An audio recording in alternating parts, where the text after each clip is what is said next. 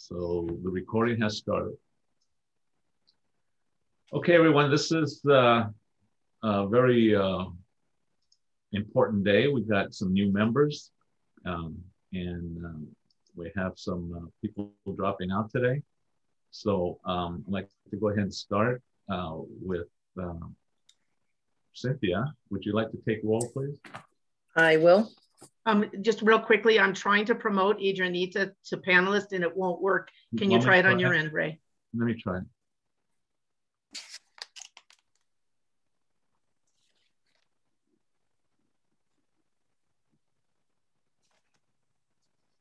Yeah, Pat, yeah, Pat still can't get on. I've tried several times. I don't know what the problem is. Several different ways too.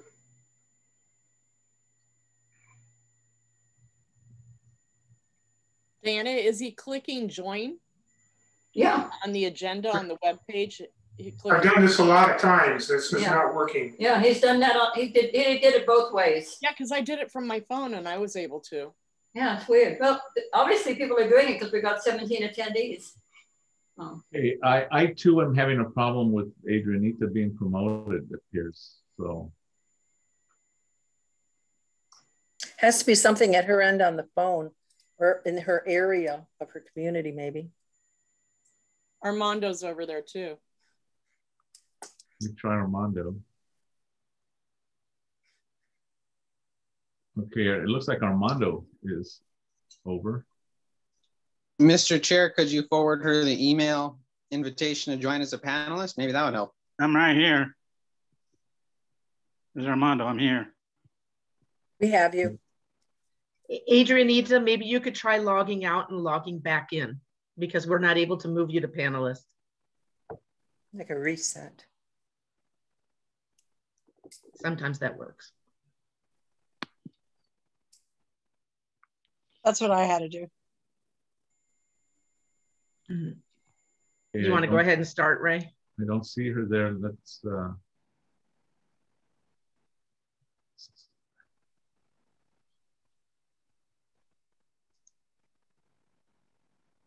Meeting number ID again. Hold on, let me this. Um, 886 5982 5193.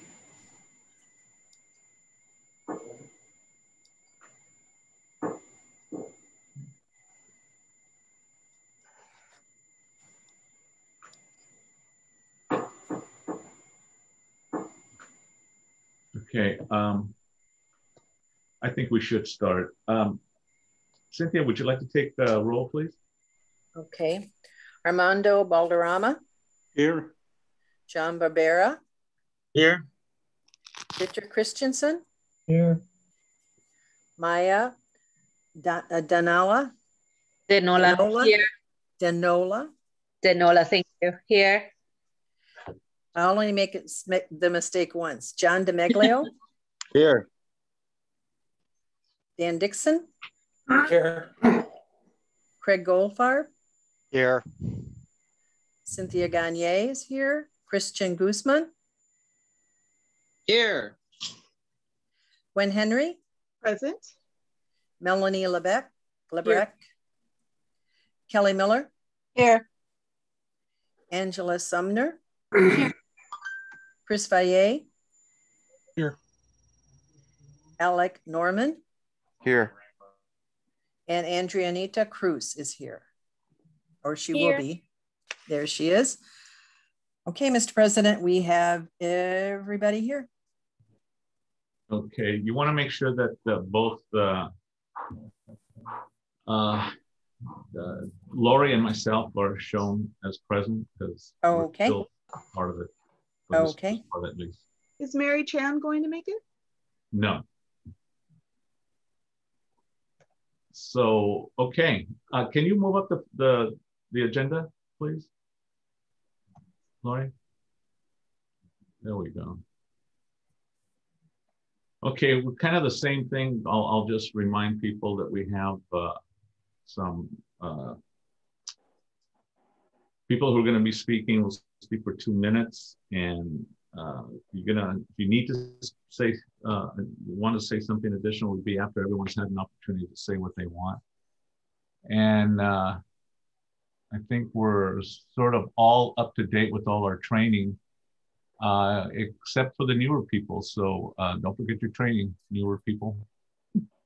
So if you don't mind, I'd like to take a couple of minutes just to kind of say that this is my last meeting uh, in, in the neighborhood council capacity. And I'm going to tell you that the nine years that I've been part of the neighborhood council, along with the uh, fact that you know the opportunity to be your president for eight years has been really rewarding for me. I have to be after the opportunity to get to know a lot of great people. I really, really am um, excited that over the course of these past years, we've had a very diverse group uh, when it comes to gender, when it comes to uh, race, cultures, ethnicities, age, and things like that. I think Northwest has been always on top of that. It's been a great opportunity to serve with all of you. And I'm, I'll tell you, I'm really, this past year, really excited that we've had some very engaging young people, Adrianita, Alexander. Let this thing just keep on going. Your, your participation in your community is really important and it's gonna just serve you so well as you move forward. So um, keep it going, you guys. And that's, it's made me really happy to, to be able to work with both of you. Um, I, I want to remind, especially for the new people, that North uh, neighborhood council work is tough work. You know, no matter how many hours people say that you're going to be there or you're going to put into this thing, it's going to be a lot more. So just be prepared. it's going to be a lot more. Um, but it's really rewarding because you're going to be able to get a, a, an aspect of what your community is really made up of. And I think uh, for those people on the attendee side who might be outside of Northwest San Pedro, I'm going to say it. Uh, Northwest San Pedro has is a great community. San Pedro is a great community, and um, as I'm as I've been a person here in the community now for well over 20 years, um, I, I just find it an adventure every time to be able to take a ride by the water. You know, it's just minutes away to be able to go out there and, and meet new people and see all the different cultural aspects of this community. It's really exciting. I want to also remind, especially the new people, that approaching the work is uh, is something that I think you need to be aware of the fact that it'll serve you if you're not doing the work with the expectation that you're going to get a pat on the back, because you won't. You're going to be open for criticism. You're going to be open for uh, scrutiny. Uh, you'll be uh, um, probably the focus of some people's congratulations, but you know, it happens the other way too. So know that also. Um, I think it's important to also say that knowing your community is really important. And knowing your community means that you've got to get out and join in in everything that happens around you. Um, Northwest, we have some great events that puts us in different areas. You know, it puts us, you know, we've had movies in the park. We've had, um, uh, we've done some great uh, uh, sustainability work up with Wildfest. I was just going to say that, Glenn. I, so we've had, you know, Wildfest where we participated in the holiday um, parade, which I think is really cool because lately we've been able to ride in one of the uh, trolleys, and you know, it's really an exciting thing to, to be part of. Uh, so get involved, continue your involvement, because um, that's how you're going to understand your community. Um, leadership in your community, leadership period, uh, is not something that you bargain for, that you go out and negotiate for, and things like that. Uh, leadership is something that you earn. So to earn it, that means that you have to get out there and be part of it so people can recognize who you are. Um, part of that leadership development is being able to understand your community. You're not, you're not in your neighborhood council board to represent your personal agenda. You're there actually to represent the community as a whole, the people who elected you. That's your obligation. So make sure that that that's something that is really a part of your life now to be able to go out there and really look at what it is that uh, you're doing for your community and how you're best representing it. Um, it's uh, it, it'll the experience will will serve you will serve you well. Um, but I like to take it to the next level, something that I've experienced. You know, as president, and whoever uh, is president uh, in a little while, um, remember that not only are you representing your community, but you're also representing the board, and the board deserves a good, strong leader that's going to represent them. And uh, sometimes that means that you're going to have to actually hold your your opinions to yourself because as a as a uh, uh, facilitator, because that's what it amounts to as being president or vice president or anyone who's elected uh, uh, positions, you're you're um, you sometimes have to hold what you feel uh, uh, aside so that you make sure that you're representing the people who you represent. So keep that in mind. Remember, leadership is earned. It's not bargained for. It's earned.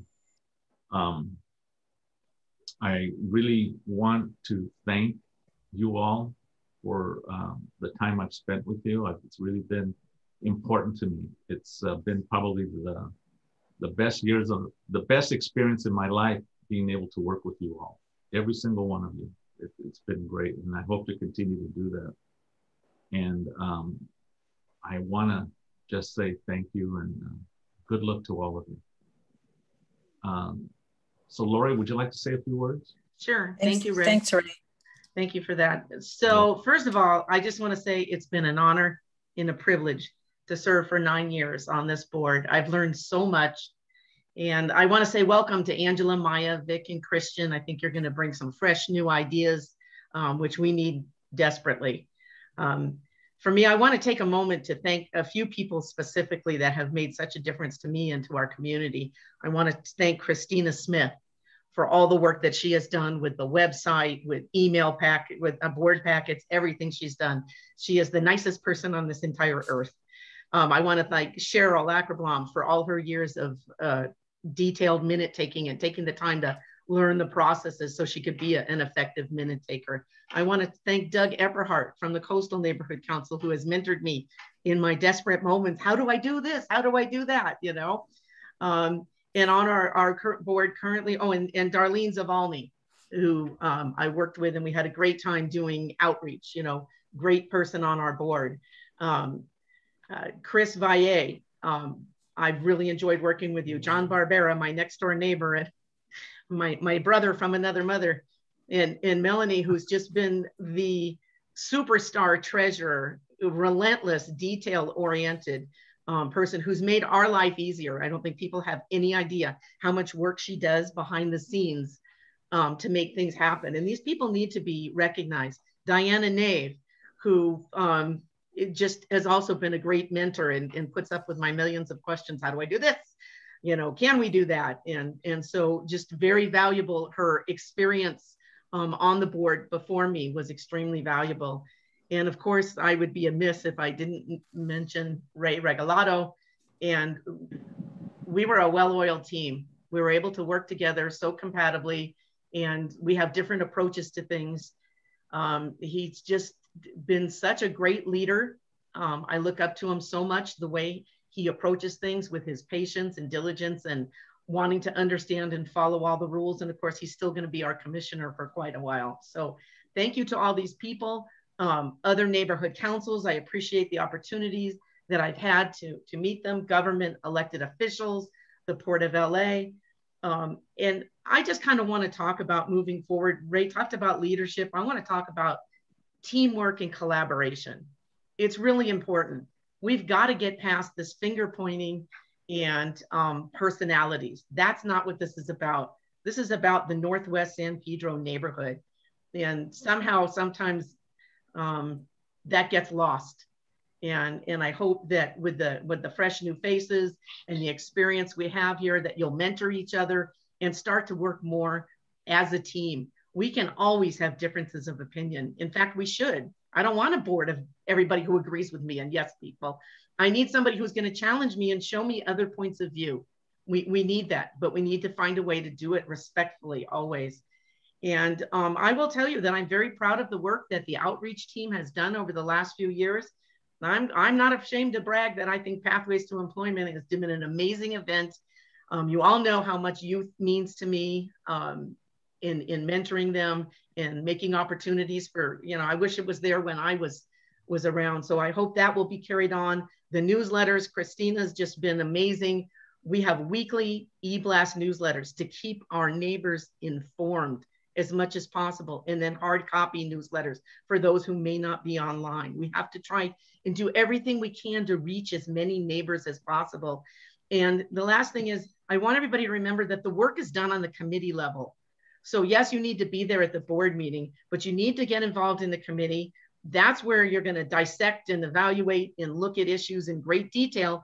And then we bring it to the board and be prepared. Read the supporting documents before you get to the board meeting ask questions.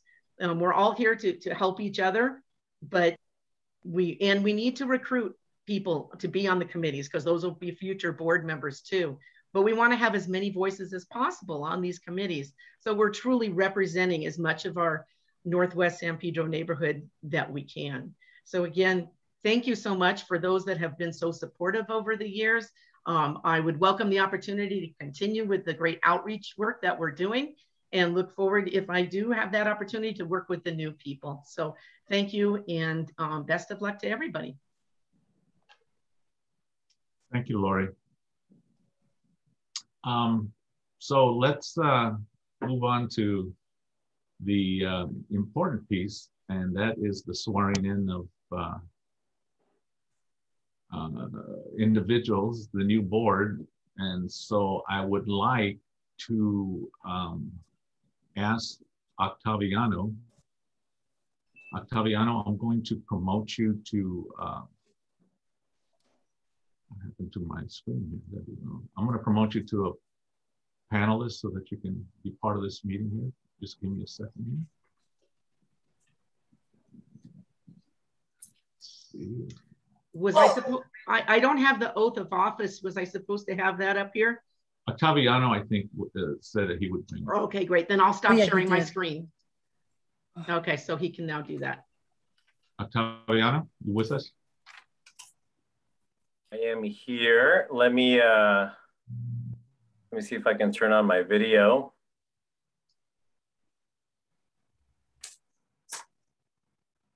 That's not you. He emailed it to everybody too. You can print it out. If he's gonna screen share, he'll need to be made a co-host.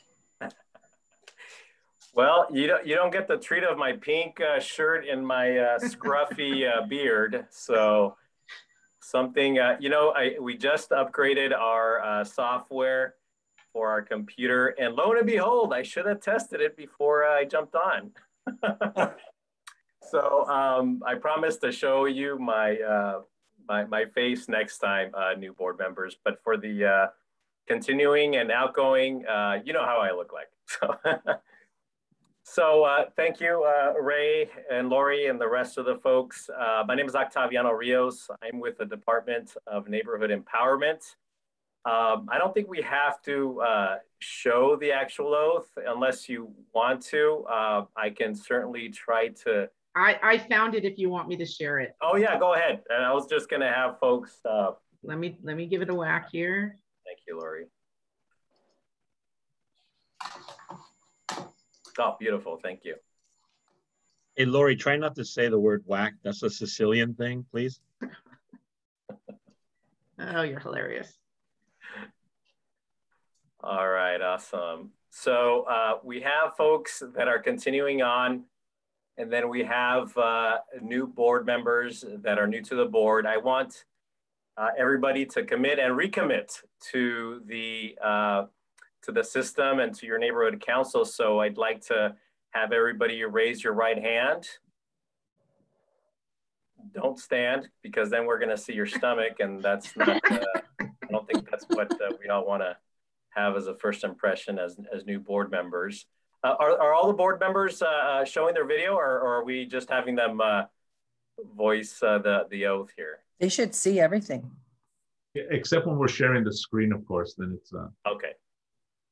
So it's my honor to to seat you all for the first time. So this will be the Neighborhood Council Board Member Oath. Please raise your hand, continuing and new uh, board members. Uh, I pledge. I pledge. I pledge. I pledge. I pledge. To represent my neighborhood. To represent my neighborhood. Represent my neighborhood. With dignity, integrity, and pride. With dignity, With dignity, dignity integrity, and pride. pride. I will encourage other points of view. I will, I will encourage other points of view. Even when they differ from my own. Even when they differ from my own. I will respect, value, and consider. I will respect, respect value, and consider everyone's opinion. Everyone's opinion. I will find the good in my neighborhood. I will find the good in my neighborhood and praise it and promote it. And praise it and promote it. Missed a section there.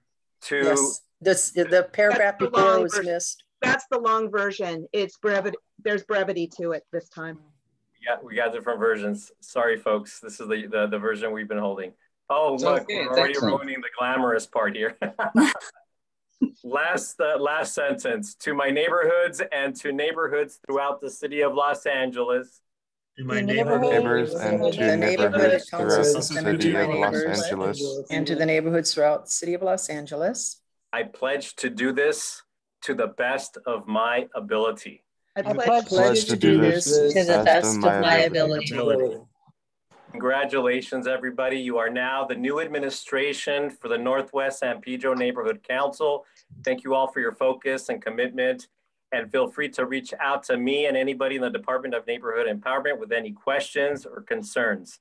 And then I'll reserve my announcements and updates for the appropriate section. Thank you all. Congratulations Thank again. You, Thank you. Thank you, Octaviano. Thank you. So we'll move on to the next section. Thank you, Octaviano. By the way, I, uh, we really appreciate the uh, the work that you've done for us, that you continue to do for us, and uh, and helping us out this uh, this evening. Uh, our next one will be the elections of executive officers. Uh, on the screen, you'll be able to see what uh, what they are and uh, what their uh, function is. And uh, I'm happy to say that Diana uh, Nave will be handling this section. Let me tell you about Diana. Diana's probably has been with the uh, neighborhood council uh, since its inception. She was, uh, if I, if I, uh, if I uh, get this wrong, Diana, please correct me. But she was part of the planning, if, if planning of neighborhood councils in the very beginning. So she has a very long history with with the group uh, with the system, with the uh, whole construct of what uh, civic engagement is all about. She also is chair of our bylaws and elections committee, which she put a lot of time in the uh, producing our bylaws, helping us get our bylaws to the perfect place that it is, and also, you know, uh, making sure that our elections are um, run um, with uh, without any hiccups. And she's done a fantastic job over the years. So um, I'm really happy that Diana indicated that she uh, or uh, agreed to be able to uh, stand in and and actually uh, start the election for our new uh, executive officers. So Diana, would you be so kind? Sure. Thank, thank you, Ray. Um, and yeah, we'll talk about some of the hiccups later in the meeting when it gets to the bylaws and elections committee report time. But um, first of all, I just want to congratulate all of the newly elected board members and welcome aboard to, to, to Northwest and, and all of you re-elected board members. And I want to thank Ray and thank Lori for the leadership that they provided for the last eight, nine, however many years it's been. Um, So for those of you that are new, the officers of the board are elected by the board from among the board members. And they're done at the first meeting after um, new members are installed. So the terms for the officers you elect tonight, they're one-year terms and they will actually end in June of 2022. Our bylaws spell out the process for the election of the board members. Candidates for an office can be nominated by another board member or they can nominate themselves. So if you're interested in running, you're free to nominate yourself.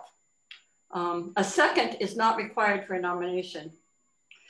Because we are subject to the Brown Act, all of the voting is done, um, will be done by a roll call vote, unless there's only one candidate and then we just, you know, we just take a, a vote by, by voice. In order to be elected, you have to receive the majority of the votes cast. If there are more than two candidates and no candidate receives a majority, a second vote will be taken between the two highest vote getters. There's an interesting um, thing that we amended into our bylaws to take care of a tie. And that says that the highest ranking officer remaining on the board and not running for president shall abstain from voting for the office of president unless there's a tie. So in this case, that happens to be Cynthia as, as secretary. She is the highest ranking board member remaining on the board. So when we vote for president, Cynthia will be asked to abstain. Once a new president is selected, that person then has to abstain from voting for the other three offices unless again there's a tie, in which case that person would be asked to um, vote. So we'll take nominations for each office. Um, and once the nominations close for an office, then the candidates will each be given up to two minutes to speak. After that, we will take any public comments and, and board comments before proceeding to a vote. So with that, the first office that we'll consider is the office of president. And as you can see, the president's responsible for soliciting items, preparing the agenda, and presiding at the meetings creating the committees and appointing the chairs with the concurrence of the board. Um, also appoints the members with concurrence of the board, acts as a spokesperson representative of the board, receives all the communications and presents them to the board. And the board then determines what items should be, and, then determines what items should be posted on the website or can delegate that responsibility to another officer. And I think that was delegated to Lori in the last few years. The president also is in charge of enforcing the bylaws. So with that, I'll open the floor for nominations. Um, and if you want to nominate someone, if you would raise your hand, um, it would be helpful. Chris, I see Chris first and then Cynthia. I would like to nominate uh, Christian Guzman for president. Hey, there we go. Thank you. Christian, do you accept? Yes, I accept it. Okay. Um, Cynthia? I would like to nominate Craig Goldfarb and I'd like to make a statement on his behalf. Uh, you can make a statement in a while, but okay. now we're taking the nominations. Um, so we have Okay. Okay, would um, anybody else like to make a nomination of themselves or anybody else? And help me if I miss a hand here, because I don't, you know, if you could take, because I can't see everyone at once. Did Craig, did Craig accept? Oh, Craig, did you accept? I'm sorry. Craig? Yes, I accept. Okay. Sorry. I was trying to You're on the beach. Um, I do not see any more hands. So with that, the nominations for president are closed. Um, so the next thing would be that each candidate would be allowed to make um, a statement of up to two minutes. And unless there's an objection, I'll just take them in the order they were nominated, which means the first one would be Christian Guzman. And I believe Melanie is keeping the time. Mm -hmm.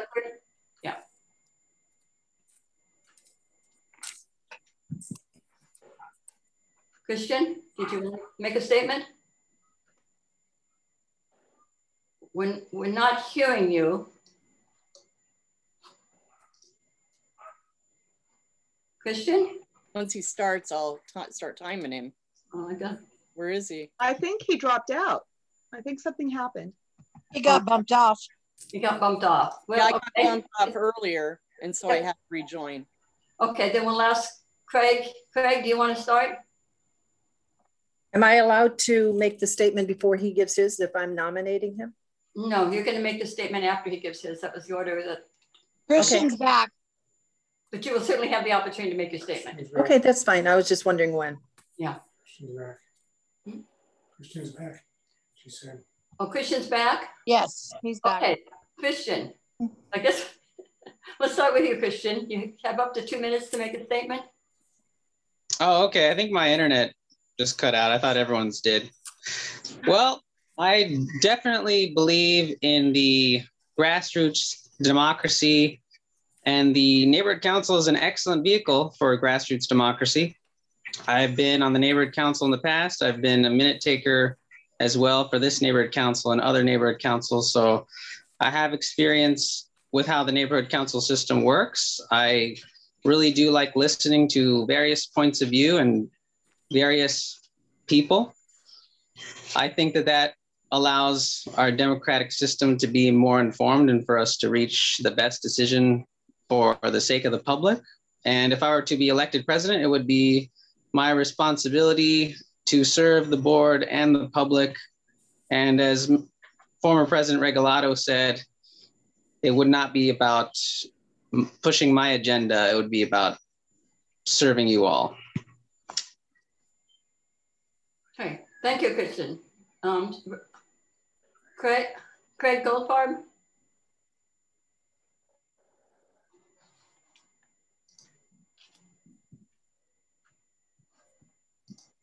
Craig, you're muted.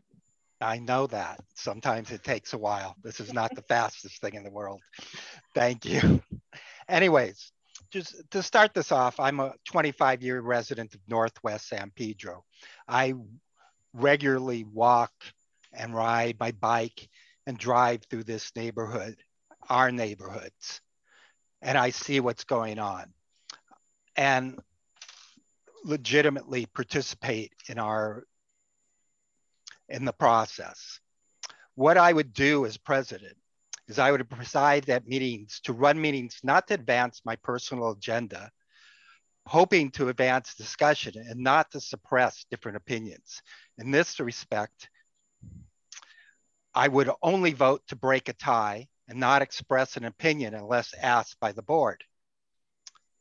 Even my view of the president is not to work is to work with you to achieve the board's initiatives, to provide you with written reports out of my meetings with the city, the port, and other council presidents of what we met on and any outcomes, and seek your feedback as a board, and individual and the individual committees. In, may, in my view, we need to concentrate our efforts on re-empowering the board to positively affect change in our neighborhoods, such as neighborhood cleanups, active support of our parks and schools? How about getting the Peck Park pool reopened? Actively addressing health and safety issues, such as vaccination clinics and safety fairs, encouraging and, facilitating cert certifications. Many of these things have been dropped off the board over the years to do things and activities that have nothing to do with Northwest San Pedro. Northwest San Pedro, our stakeholders need us now more than ever. And we need people that are members and part of Northwest San Pedro to facilitate this. Regardless of the outcome, I hope Craig, that we work that, on. I believe that was time, Craig. Was that time, Melanie? I'm sorry. Yeah. yeah. Regardless of the outcome, I hope we work on re-emphasizing Northwest San Pedro and its needs. Thank you for your consideration. Thank you, Craig. Okay, with that, we'll open the floor and I will first recognize Cynthia since she's already indicated. Anyone who wants to speak, please signify by raising your hand. But let's start with Cynthia. Okay, um, this council has recently elected a number of new board members. And right now the board needs stability. Craig has eight years of experience on this board previously, and we were successful then. He was on the port committee, the land and land use and planning committee, where he helped the successful negotiation of Target and Ponte Vista development. He was a treasurer and the budget advocate. and set up our present budget reporting system.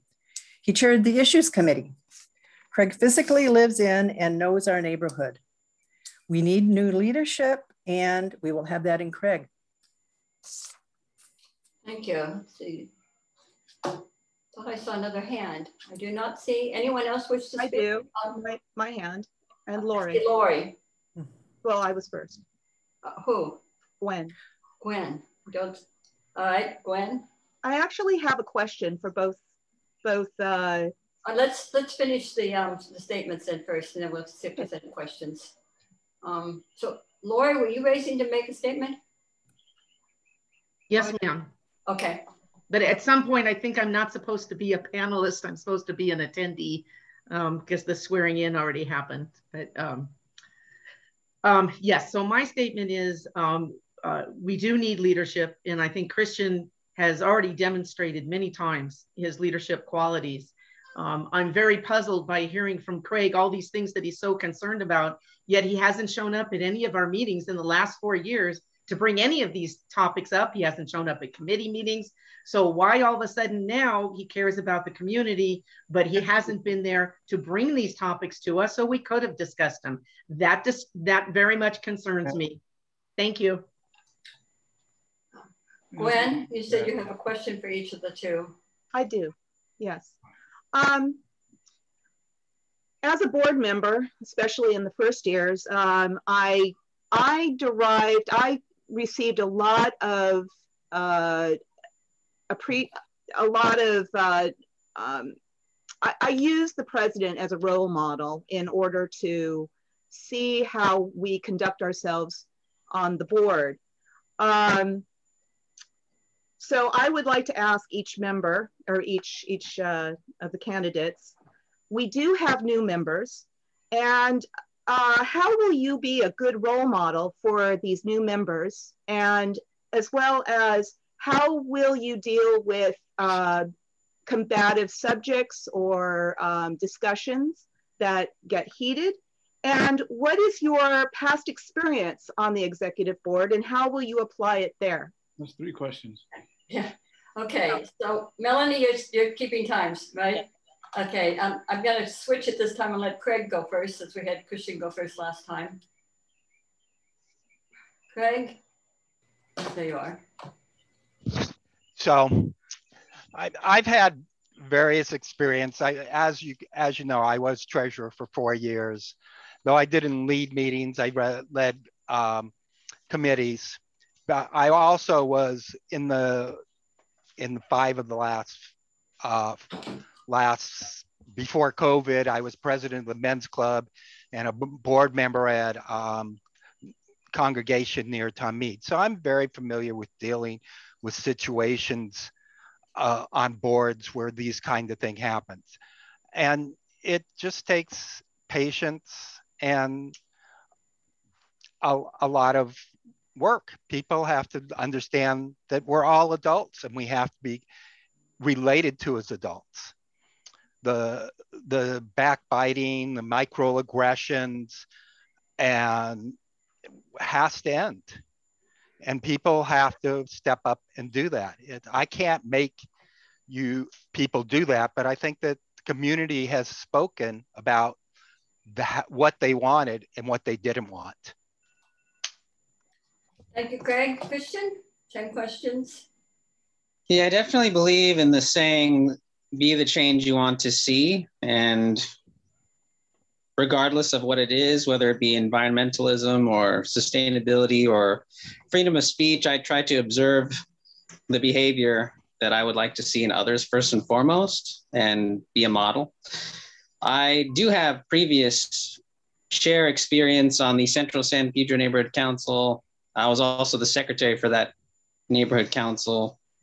And I also chaired the sustainability committee at one point and also participated jointly with the Northwest Sustainability Committee for a couple of years, where I think I was mentored by Sarah Valdez and Gwen for a time.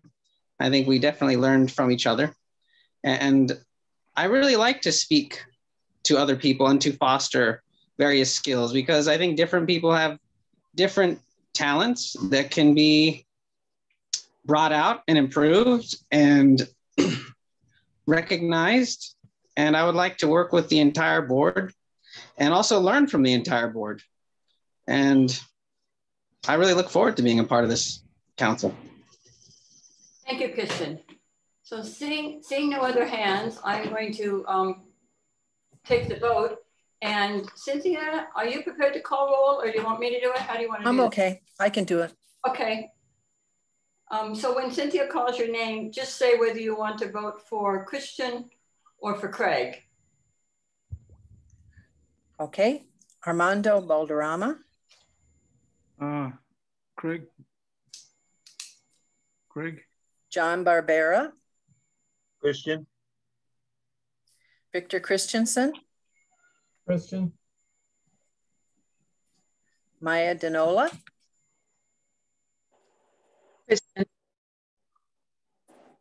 I didn't, John I- DeMeglio. Oh, I, I didn't catch what Maya He said. said Christian, I believe. Okay, John DeMeglio, Craig. Dan Dixon, Christian. Can Greg, Craig vote for himself? That's right, he can vote, right? Craig can vote. Craig Goldfarb, Craig. I abstain.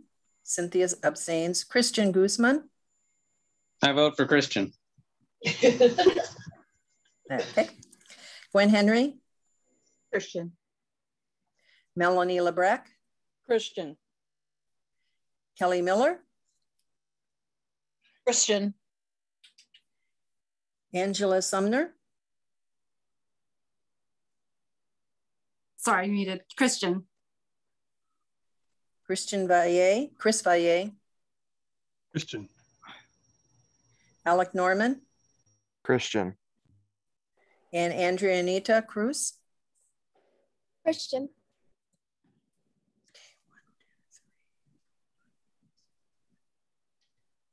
Twelve for Christian and three for Craig. Congratulations, Christian. Um, you're, Thank you, you're the president. Thank you. I look forward to serving you all. If, So uh, that means on the next three, Christian, you don't get to vote. Uh, and Cynthia does. Di- Um, Diana, Yes, I'm going to transfer uh, hosting privileges to Christian. oh, okay. Hang on. just- You can do doing that while I go ahead with the next office. So the next office is the office of vice president. And the vice president performs the duties of the president in the absence of the president or when asked to do so by the president. The vice president assists the president in deciding what issues or problems may require a special emergency meeting and coordinates the work of committees and tracks items of interest to the council. What I'm reading are the things that our bylaws say these offices do. The work has been divided up a little bit differently among the existing board, um, and they can tell you how they did it. But this is what the bylaws require for, from the vice president. So at this time, I will open nominations for vice president.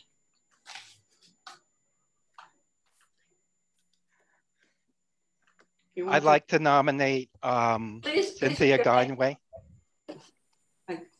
Cynthia, Yes, no, do you accept? I'll accept. Okay. Uh, Gwen? Your hand's raised? Yes, I, I would like to nominate Chris Valle. Chris Valle? Chris, do you accept? I accept. Yeah, he accepts. Don Barbera, did I see your hand? I'm good. Okay. Anybody else want to nominate either themselves or somebody else for vice president?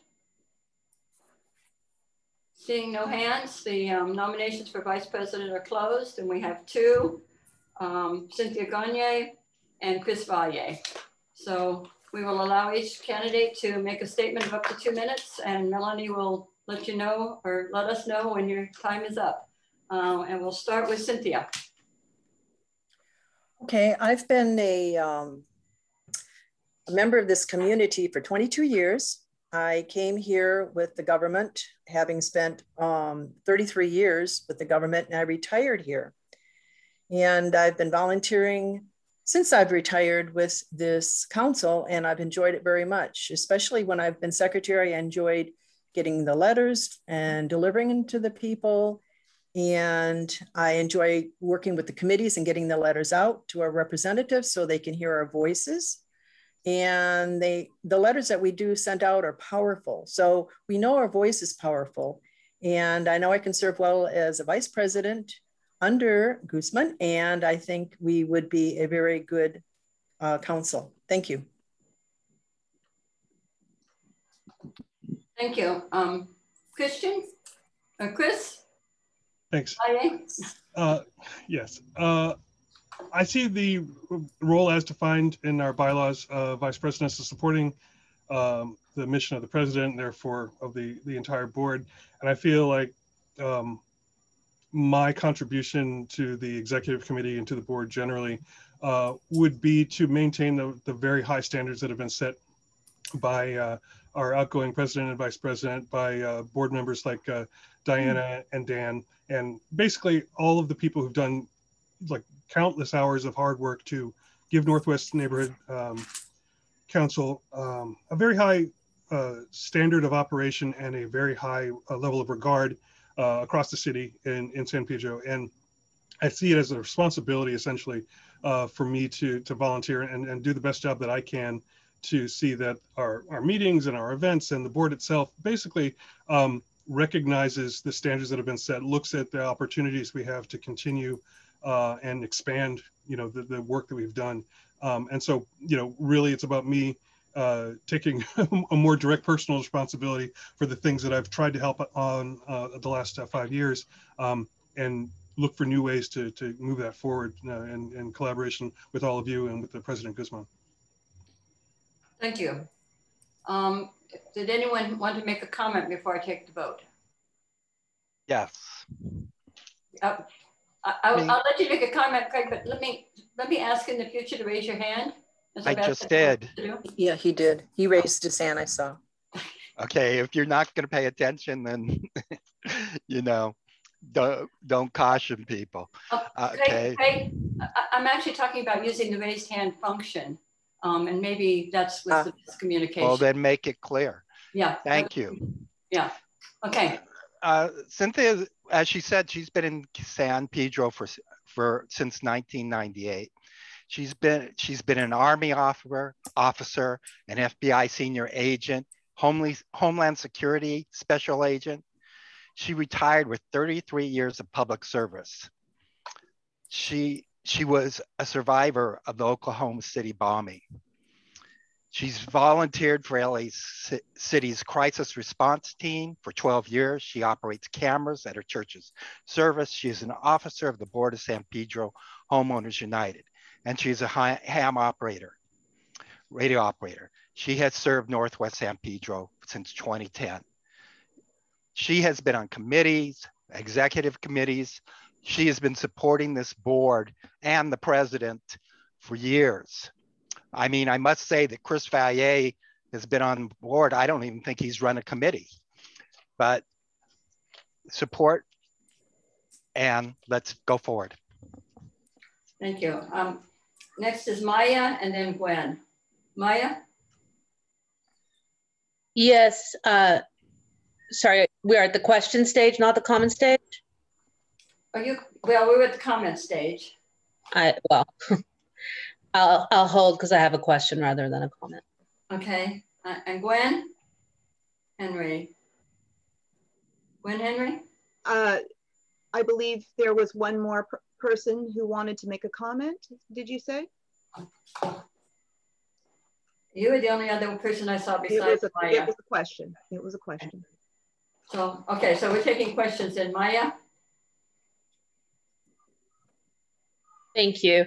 Um, so I'd like to know from each candidate how you see your role um, as moderating uh, conversations at the council meetings if you can just speak a little bit to your um, idea of what that role is, how you intend to manage conflicts um, at these meetings as the vice president if needed. So we'll start this time with Christian. Is it Chris Valle? All right, thanks. Um, I think as we've just seen, as we've already seen in the process leading up to this meeting, uh, there, there are uh, people who take a personal angle and uh, a more critical and uh, you know uh, confrontational approach in these uh, proceedings. And I think the bedrock of what we do are the rules. We have rules written down that are relatively easy to follow, and they they sort of they, they give us a pretty strong framework and a pretty strong set of boundaries. Um, not only as to how we should you know proceed about our business as a board but in terms of our conduct and the, the manner in which we speak to one another um, and so we, we start there and then you know everyone's got to add their own personal interpretation of, of uh, what they think a, a respectful demeanor and, uh, uh, and, discourse should be. But it starts, I think, with courtesy and kindness and, and mutual respect. Um, it's, it's, it's easy to start a fight. It's very difficult to finish one, and you don't get any work while this is in the in the in the midst of it. So you know we have work to do, um, and I think staying focused on that and using the rules as a framework in which to do the work is is really the only way forward. Thank you, Christian. Cynthia, same question. Uh, I've been on the board for a long time, uh, 12 years, and I know we all come as adults. We come as volunteers. We're not being paid to do this job. So I think we all are serious about the job that is at hand, whether you're um, a chair or a committee member or um, even somebody that um, wants to become a member, that uh, people get involved. And a lot of times when you get involved with an issue or an event, you're representing your area, your tract, and you might become excited and sometimes you step out of the bounds but i think you know just a gentle uh, prod just to let them know that that's pushing it a little bit too far and the people will come back in i think that uh, most of the people that i've ever talked to i've never had any problems with anybody yelling uh, at me or or trying to degrade me so um, i think we you know will come as an adult and if something does happen then it's up to the president to enforce the laws and um, and I would back him and we would handle it um, at that time. And then we would move forward. Thank you, Cynthia. Uh, Gwen, you, you, had, you had a, a, question? Yes, I do. Um, as vice president, uh, you will be taking over many of, you know, when needed, you'll be taking over duties of the president should they have be absent for any reason.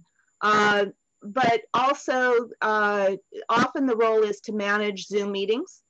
Do you have the technology experience to run a Zoom meeting? Do you have the uh, an email that functions in order to um, manage and distribute emails to the participating parties? And can you do the functions uh, based on our challenges of a technology uh, driven um, meeting currently. Um, please, you know.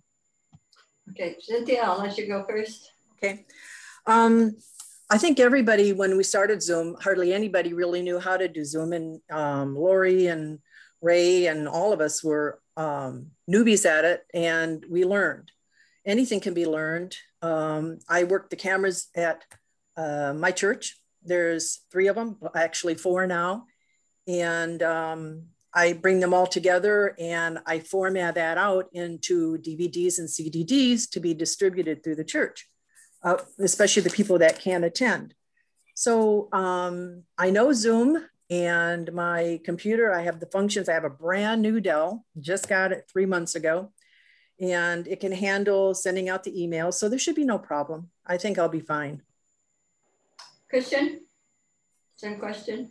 Because uh, Thanks. Yeah, um, I have used online meetings and, and that sorts of uh, resources uh, pretty extensively, even beyond uh, the, the boundaries of the pandemic. But uh, as a uh, uh, media producer, I have a very high powered computer. I have a gigabit ethernet connection.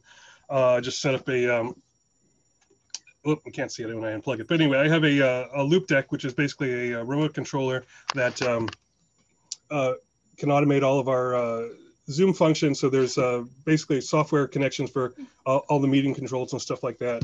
Um, that's actually one of the parts of it that's I look at as as the easy part. Uh, I think the the people end of it is going to be the challenge and the you know the, the work end of it, but the uh, the media part is something I do almost literally all the time for fun. That's uh, that's good.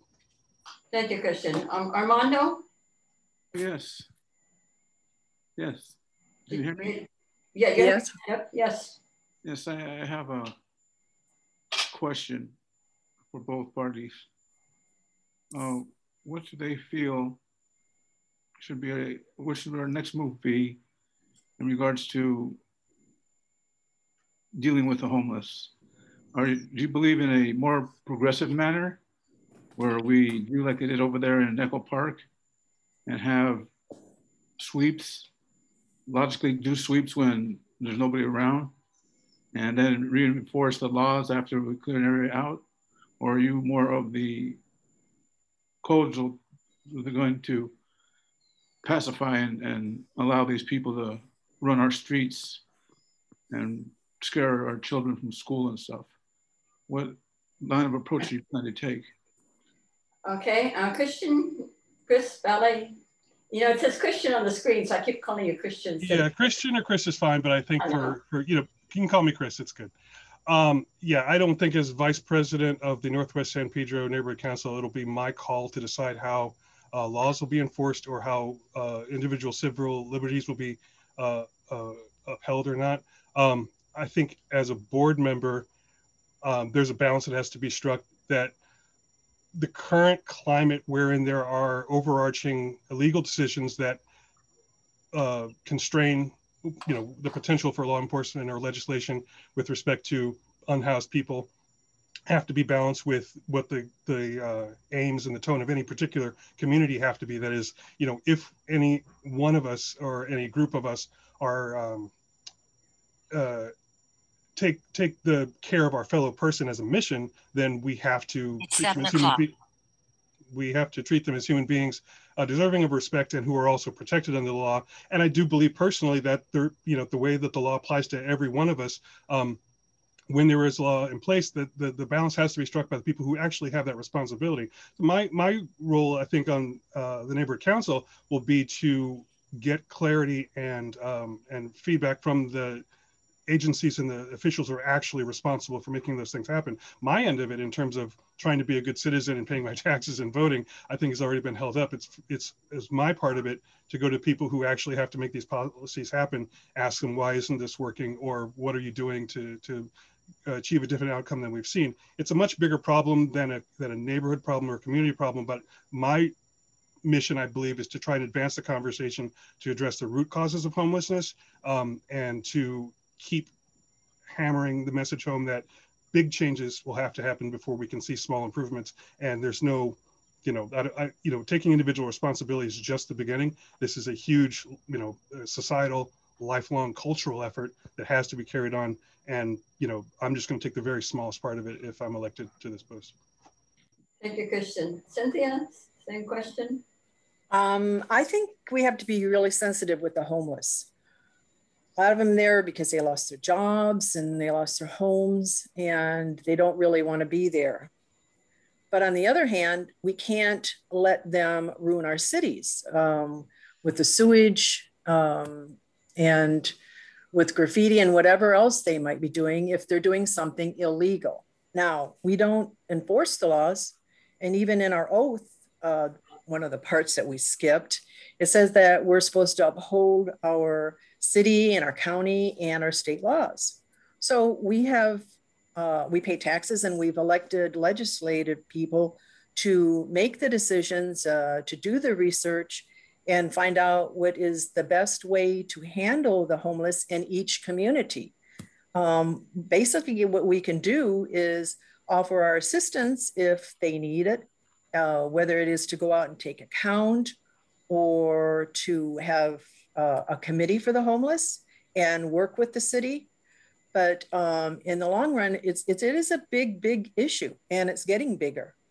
And with the economy, the way it's going, it's going to get even worse. So I think we're going to have to be taking little steps, but if we go in a positive state, a positive direction and keep taking those little steps, I think we'll be able to uh, work through the homeless and get them jobs and get them homes.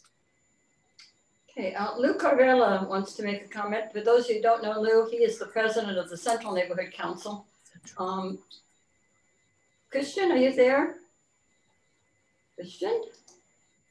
Uh-oh. Lori, can you let Lou speak? Are you still on as a co-host? Uh, yes. Yes, I just unmuted Lou. Great. Lou? Oh, do you guys think this is Lou? This is Matthew Kiocho, actually, the vice president. Oh, oh okay. Sorry, I, I was on a meeting under his Zoom account, so I think it might have transferred over, and I can't see that until you told me. Sorry. So, yeah, my name is Matthew Kiocho. I'm actually the vice president of Central San Pedro Neighborhood Council. Okay, and you had a question or comment? Yeah, I just had a question. So, as somebody who himself was recently voted in as a vice president, one of the main criticisms of a vice president, right, is that they're literally just the vice president in waiting and you do a lot of kind of thumb twiddling. So I, I would like to ask each candidate, you know, real quickly, because I know you guys are short on time, what would be the one, what would be the largest issue or problem that you personally would like to work on? I mean, whether that's homelessness, veterans, uh, parks, uh, you know, I, I asked more broadly, you know, what, what would be the main issue they would like to work on as vice president? Okay, so I think we start with Cynthia this time. That's a good question. I think our biggest problem is disaster preparedness. We're in a state that has could have tsunamis. We've had small ones, not large ones. We've had fires. We've had mudslides. Um, we've had flooding here in uh, Westmont. And um, we have earthquakes. So we need to be prepared. We cannot be unprepared and be caught off guard. You only have so much time that you can't have water, you can't have food, you can't have shelter. If if we aren't prepared, the number of people just even in Northwest is a lot, but when you consider the whole state and if people can't get to us if there's an earthquake, then we're going to have a problem. So I would like to be able to get out and get not just the businesses who have a lot of people that aren't even in our community and would want to go home if a disaster happened, but the people who have children in schools in different schools and uh, wives that are working husbands that are working in different places. We need to get everybody ready so they know what to do how to get a hold of their families and to have enough just basic water and first aid kits and some food for the families so that uh, we can mitigate any great disaster we might have coming toward us because if we don't it'll be too late when it happens thank you cynthia um, chris Bye. Um, thanks. Uh, if I had to pick a single issue right now, I, I I'd still have to say that um, it's difficult to pick one, honestly, um, mm. because so many could become crises or are crises right now. But I, I still think that uh, COVID and the related economic downturn and pressure that people are feeling um, are some of the most direct uh, issues that, that people in our neighborhoods and our community are going to be having. Um, I, I, think general economic distress and stress uh, uh, and this these things attached to one another uh, like a web but um, issues about homelessness about uh, uh, the shifting workforce about the housing costs about energy costs all of these things have like direct like day-to-day impacts on our members of our community and i think that when possible um, if it's a matter of making resources available information available uh, bringing in, bringing the information, the feedback, and the input from our uh, stakeholders to agencies and to um, other elected officials um, to help sort of focus and um, highlight the needs uh, in and around Northwest San Pedro. Uh, have a potential to create some sort of relief to uh, help direct resources towards people. I mean, there's any number of things we could pick, but um, you know, I know that people all over are uh, feeling the pinch, and you know, that might be an opportunity to provide a path forward, if not some immediate relief. Okay, with that, I'm going to move to taking the vote. And Cynthia, do you want to call the roll again? I will. And then, so this time you're either going to say um, Cynthia or you're going to say Chris, Chris. Christian. Armando Balderrama. Cynthia. John Barbera. Chris. Victor Christensen. Chris. Maya Danola. Chris. John DeMeglio, Cynthia. uh, Dan Dixon, Mute, unmute, Dan. Whoops, he's stuck. He's working. Sorry. no, I, I don't have a new computer, Cynthia. Uh, Okay. Chris, Craig Goldfarb, Cynthia, and Cynthia votes for Cynthia. Christian Guzman cannot vote. Gwen Henry? Or I'm sorry, he has to abstain because he's president now. I'm abstaining. Right. Gwen Henry, Uh, Christian, Chris, Melanie LeBrecq, Christian. Kelly Miller, Chris. Angela Sumner, Chris. Chris Valle, yourself, I vote for myself. Thank you. Alec Norman, Chris. Andrea Anita Cruz. Chris. Chris. What else? Okay.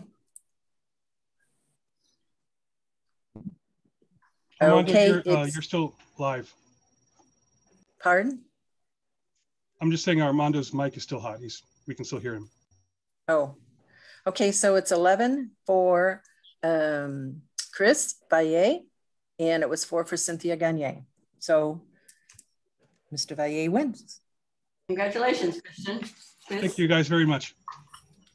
So the next office is the Office of Secretary. And the um, secretary acts for the president in the, in the event that both the president and the vice president are absent. Secretary is responsible for, the, for ensuring that all minutes and records are kept, that all notices are posted in accordance with the bylaws, um, that the secretary monitors the actions of the board to make sure that they're implemented, including all correspondence, picks up the mail or arranges for it to be picked up at least weekly. Um, since we don't currently have a staff member, the secretary will need to be the actual minute taker until such time as a new staff person is found. So with that, I will open it up to um, nominations and I see Christian's hand. Are you raising your hand to nominate somebody for the role of secretary, Christian? Yes, I'd like to nominate Vic Christensen. Vic, do you accept? yes, I accept. Okay. Um, any other nominations for secretary?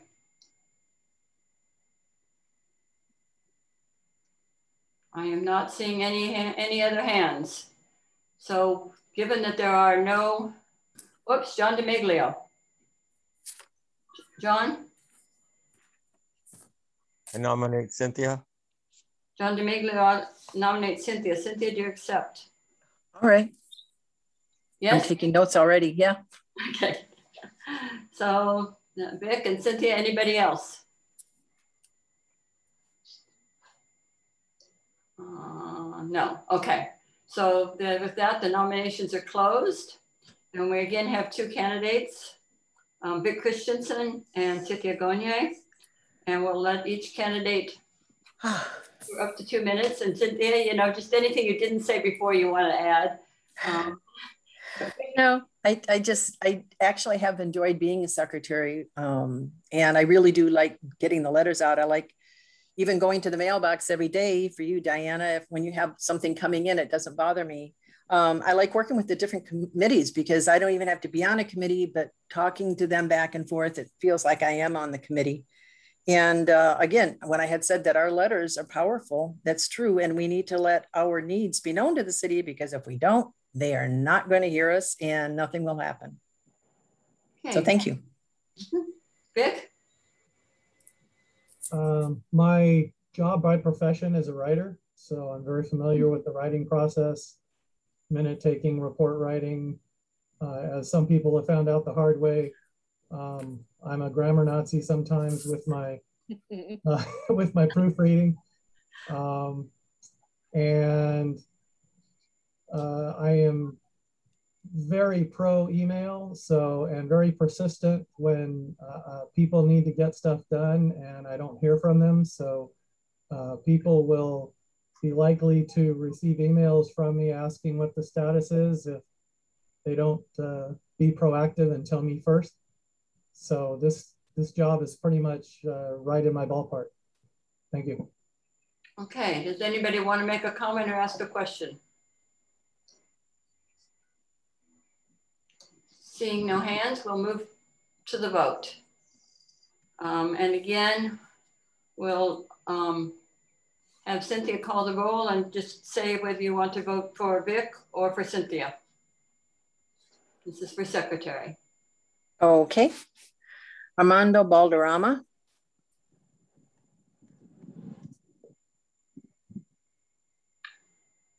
Is Armando here?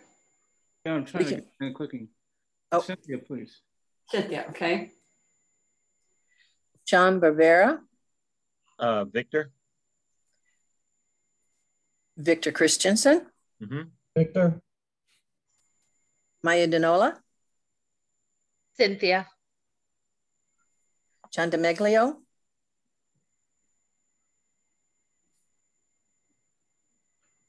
John DeMeglio. John, there you go.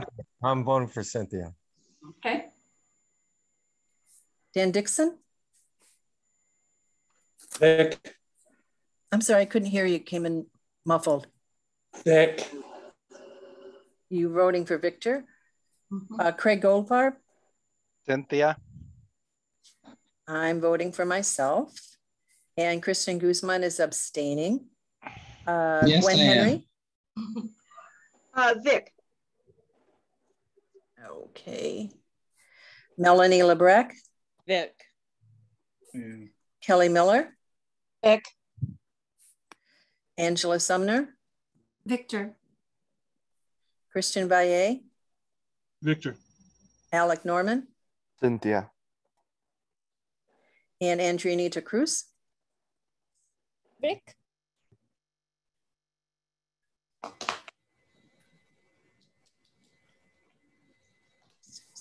It's six to nine um, in favor of Victor Christensen. Congratulations, Victor. Now the hard work begins. Okay, that leaves the last office, which is the office of treasurer. And the treasurer is responsible for all of the funds that belong to our council. The treasurer receives and disperses the funds, maintains the book of accounts as prescribed by the city, and provides monthly financial reports to the board as required. The treasurer has to um, also take a special training that the city um, provides for treasurers. And I think that the job of the treasurer really involves a lot more than, than what we envisioned when we wrote the bylaws, but that's what the bylaws say. So with that, I will open nominations for treasurer. Um, John Barbera. And I nominate Melanie. Um, Melanie, do you accept? Yes. Okay. Um, I don't see any other hands. Any other nominations for treasurer? Seeing no other nominations for treasurer, then I will just take a voice vote, a vo voice vote for treasurer. So all in favor of Melanie as treasurer signify by saying aye. Aye. Aye. Aye. Aye. Aye. All opposed? None. And abstentions? Christian, you're abstention. Yes, he's an abstention. Christian, say you're an abstention. I will abstain. They're not always called for, but I will abstain. Okay. So, um, Melanie, congratulations. You continue to have the job of treasurer. Yay. Done such a Well job deserved. the last however many years. Condolences. Well deserved. So with that, um, we have our, our new um, officers for the year. Congratulations to all of you. And Christian, the meeting is all yours. Okay, thank you, Diana. It's been a pleasure to work with you. And let us move on to the next agenda item. If it's the pleasure of the board, we will move on to public comment on non-agenda items. So, Madam, so Mr. Secretary or Mr. Vice President, do you see anyone from the public that would like to make comment on non-agenda items? I believe I see Craig's hand raised. Uh, I'm looking in participants. I we've got two attendees as well. Oh yeah, we have two attendees. We have, um, Excuse me, as a point of order, I believe you need to remove move Ray and I to attendees. Okay, we can do that. Okay. Just Uh, you also need to remove Rock.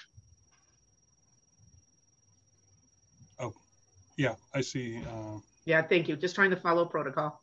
panels. Um, So I see Craig's hand raised and I see uh, Matthew Kyoko and Tim McCosker in uh, attendees who'd also like to make comments.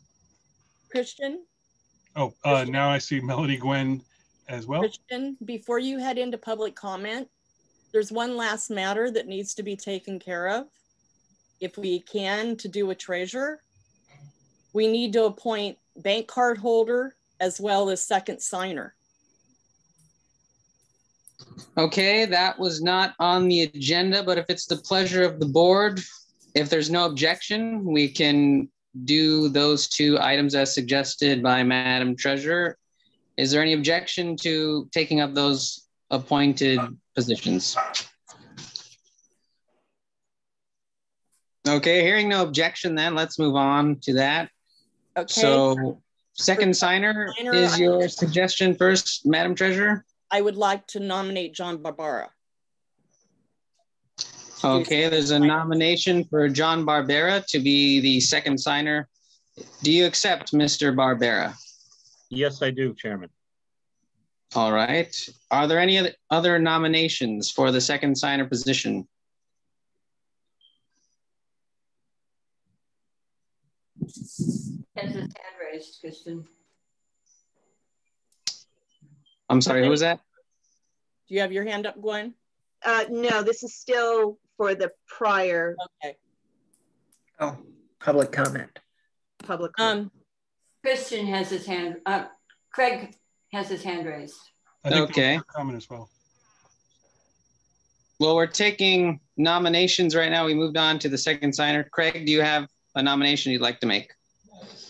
No, my hand was raised up for public comment, not for. Okay. Point, Uh, point of But as long as I'm speaking, I still, uh, Rock and Lori and, uh, are s- still showing up and Ray. I thought Okay, I appreciate that, Mr. Goldfarb. We will get that handled. In the meantime, if there are no other Mr. Point of- nominations for second signer, we can Point take that up by clarification. acclamation. A point Yes, Mr. Vice please. President. Um, is this for, are, are we combining the roles of second signer and card holder? They're not no, necessarily. it's separate. It's separate. Okay. They all have to have separate vote counts that I have to turn in. to. Let's come to order now. So one last time, are there any other nominations for second signer? If there are no other nominations, we will Take a roll call vote. take a roll call vote by acclamation and appoint Mr. Barbera. Okay. Um, Oh, Okay. so Go ahead, Madam Treasurer. You may take the roll. do you want me to do it? I can or you can. Okay, I, I can do it. Um, you can just cover me. I'll just mark them. Right. Armando Balderrama? No, No? no. Okay. John Barbera? Mm-hmm. You're muted, John. I assume Yes. it's a yes. Yes. Victor Gu- Christensen? Yes. Maya Denola? Yes. John DeMeglio? No. Dan Dixon? Yes. Craig Goldfarb?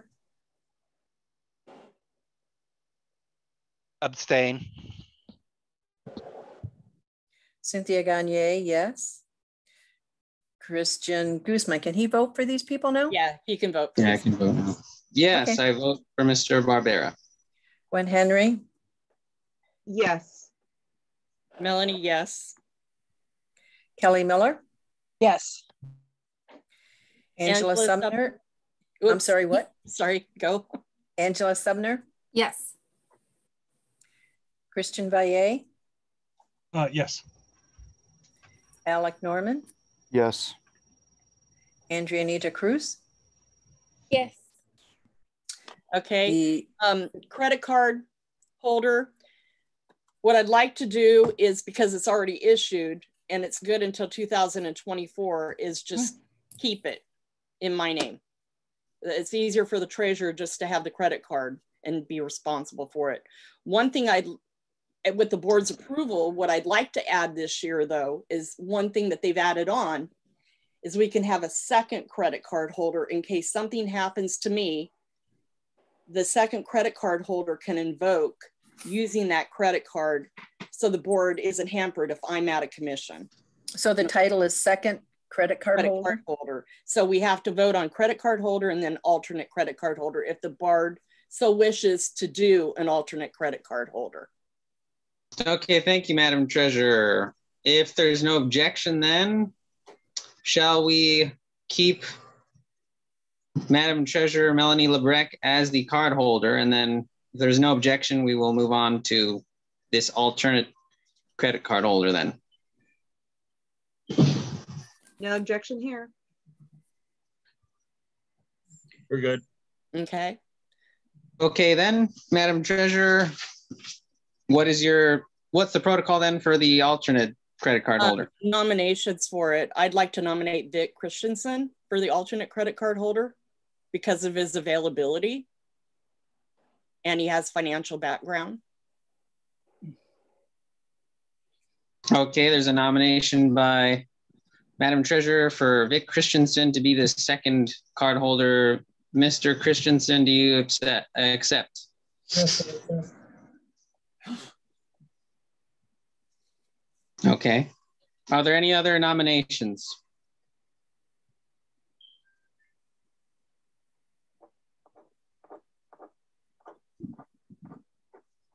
Okay, well, hearing none, why don't we do a voice vote just to be on the safe side for this one? So all those in favor of Vic Christensen, say aye. Aye. Aye. Aye. Aye. Any opposed? Okay. Would anyone like to declare their that are abstaining? All right. Well, congratulations, Mr. Secretary. You're also the alternate card holder now.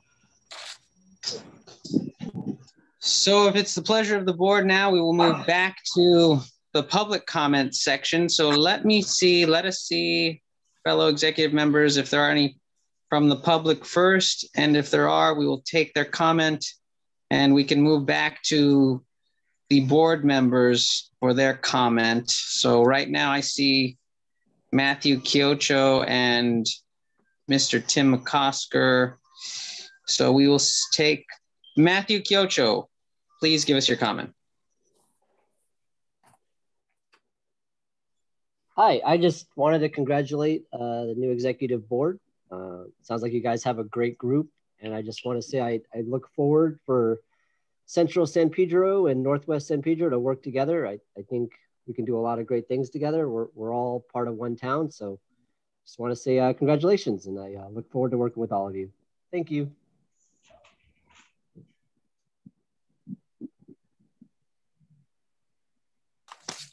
Excellent. Mr. McCosker, would you like to make your comment? Yes, thank you, President Christian Guzman. Appreciate the opportunity. It's nice to hear Matthew um, uh, uh, congratulate everyone. I too congratulate everyone. It's nice to hear him uh, look forward to um, uh, cooperation between the neighborhood councils, which I'm sure will occur. Um, I wanted to um, to also just uh, on behalf of myself and and my wife Connie, who's on another meeting, another room, uh, just uh, uh, congratulate um, Ray and Lori for their service and thank them for their service. Connie had the opportunity to serve on this neighborhood council. This is our council, by the way. Uh, Connie had an opportunity to serve on this council and just as I do, has just profound respect for the work you do and uh, particularly for Ray and Lori and the way that they've served. And I really look forward to following you um, and uh, uh, being at future meetings. And uh, Christian, congratulations, my friend. Uh, I know you'll do a great job. Thank you. I appreciate that. I, I'm Okay, checking talking through. Well, yeah, no, Yes. you know what? I don't know. It, you know, this is, I didn't throw in the joke of there's Christian, Christian, and Christensen. Yeah. We will rule favorably toward all religions, by the way. Good for you. Yeah. Okay, so anyone else from the public? I'm checking. I don't see any other hands from the public, so we'll go back now to the panelist side, the board members, and I know that Councilman Goldfarb had his hand up earlier. Count, Councilman Goldfarb, would you like to make public comment?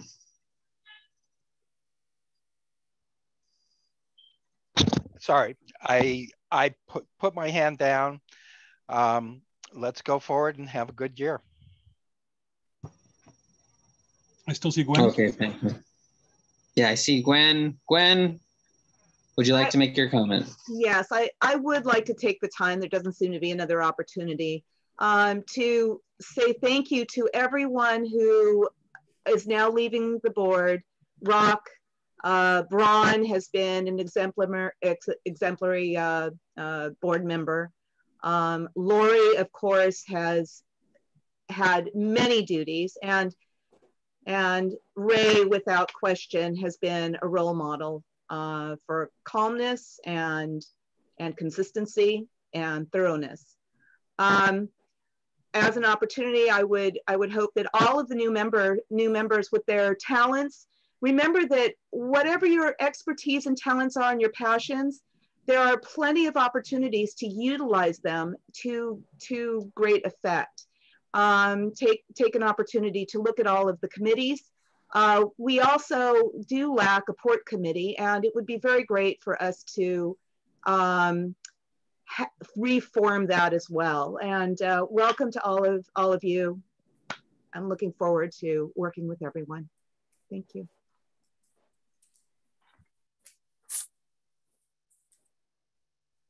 Okay, excellent.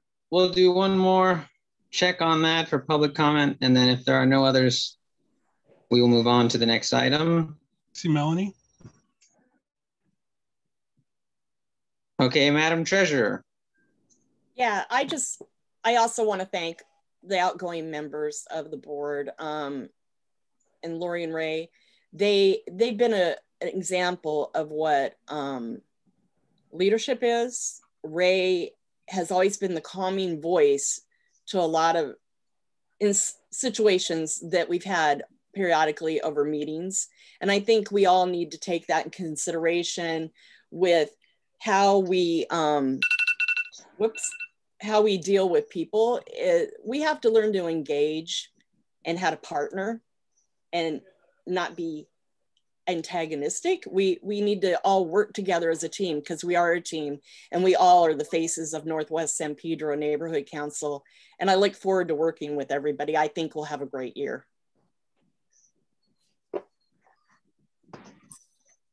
okay let us move now to the next section which is public officials and their reports and if there are any elected and government representatives, please speak up now. I think I saw Mr. Bezmalinovich. Are you here, Augie?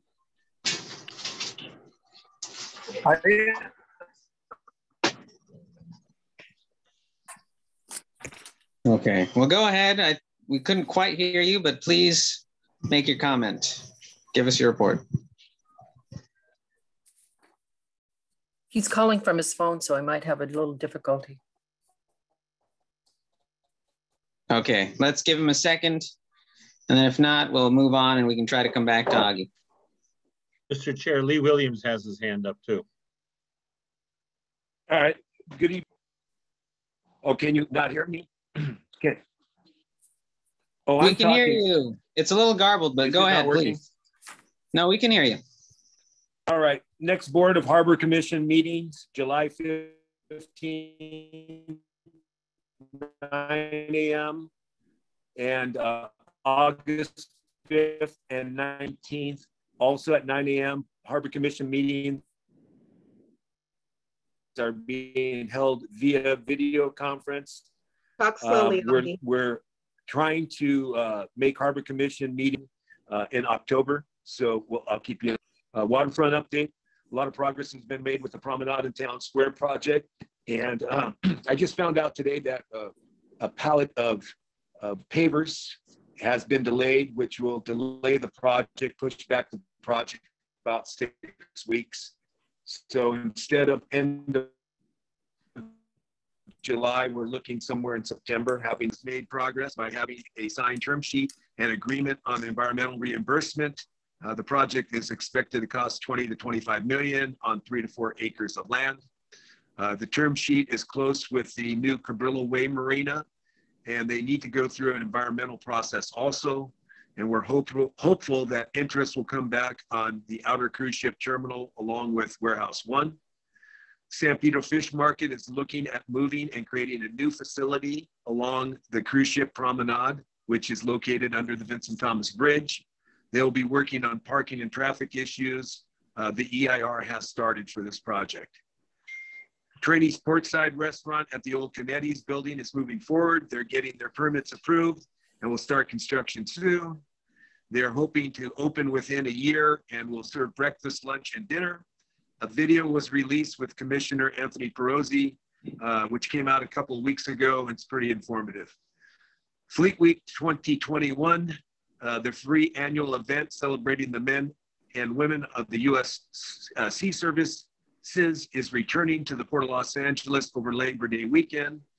Um, we're expecting uh, tours of ships to be conducted Friday through Monday, September 3rd through September 6th. And finally, the Cabrillo Marine Aquarium opened to the public on Saturday, June 19th. The aquarium new hours are from noon to 5, Wednesday through Sunday. And that concludes my report, unless you have any questions. Okay, thank you, Mr. Bezmalinovich. I'm going to take this time to also invite all of you elected officials to submit written written reports beforehand because it's very helpful to the board to formulate questions if there might be any, and also it's really helpful for the minute taker or the note taker. So if you'd like to submit a report beforehand for the next meeting and the future meetings, thank you very much in advance. If there's no Christian, objection, Christian, we'll do you have my email address, Christian? And uh, if so, I'd like to have your email address. Please, please email me uh, later on tonight so I can have it. I appreciate it. Thank you. I will do that. Thank you, Augie. Okay, let's move on now to Octaviano Rios from the Los Angeles Department of Neighborhood Empowerment. And it's just a reminder, we still we do still have uh, Lee Williams at the hand raised. Thank you, Mr. Vice President. All right. So, okay, Octaviano, we can see you now. You see all you? right. Fantastic. You know, it dumped all of my backgrounds. It didn't let me activate. So while everybody was uh, moving on, I fixed it. So congratulations again, everybody, uh, and all the new officers. Uh, thank you for your commitment to those new roles. Uh, so my name, again, my name is Octaviano Rios. I'm with the Department of Neighborhood Empowerment. Um, I did uh, slap myself on the hand because I didn't uh, thoroughly and appropriately uh, thank the outgoing board members for all of their service, all of the years.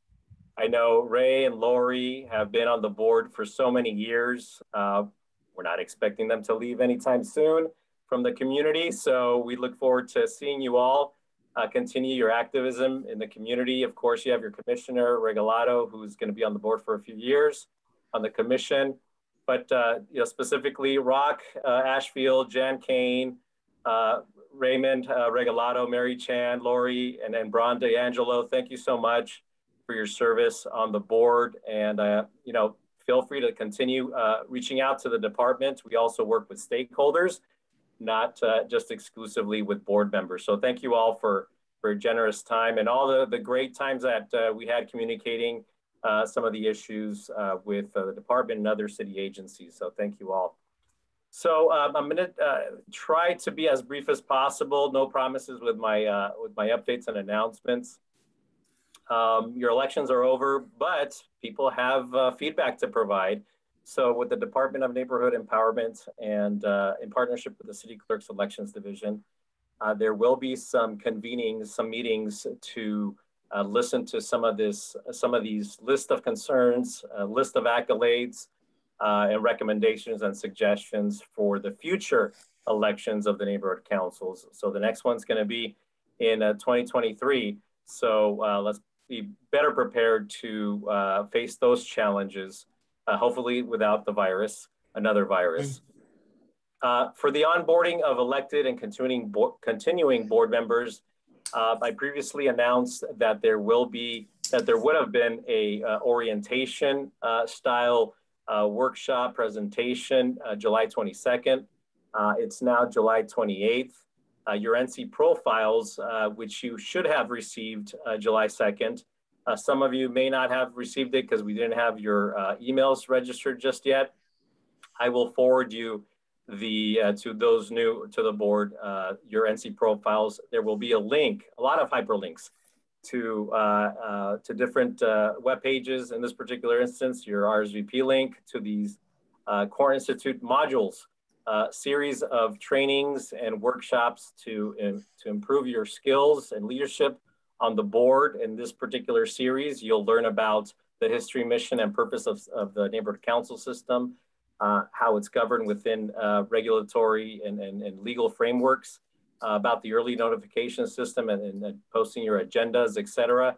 So it's a long list of introductions to the neighborhood council system and running your boards. Uh, so that's July 28th at 6.30 p.m. Put a hold on your, uh, on your calendar for that. It might be the last one, but it will be recorded.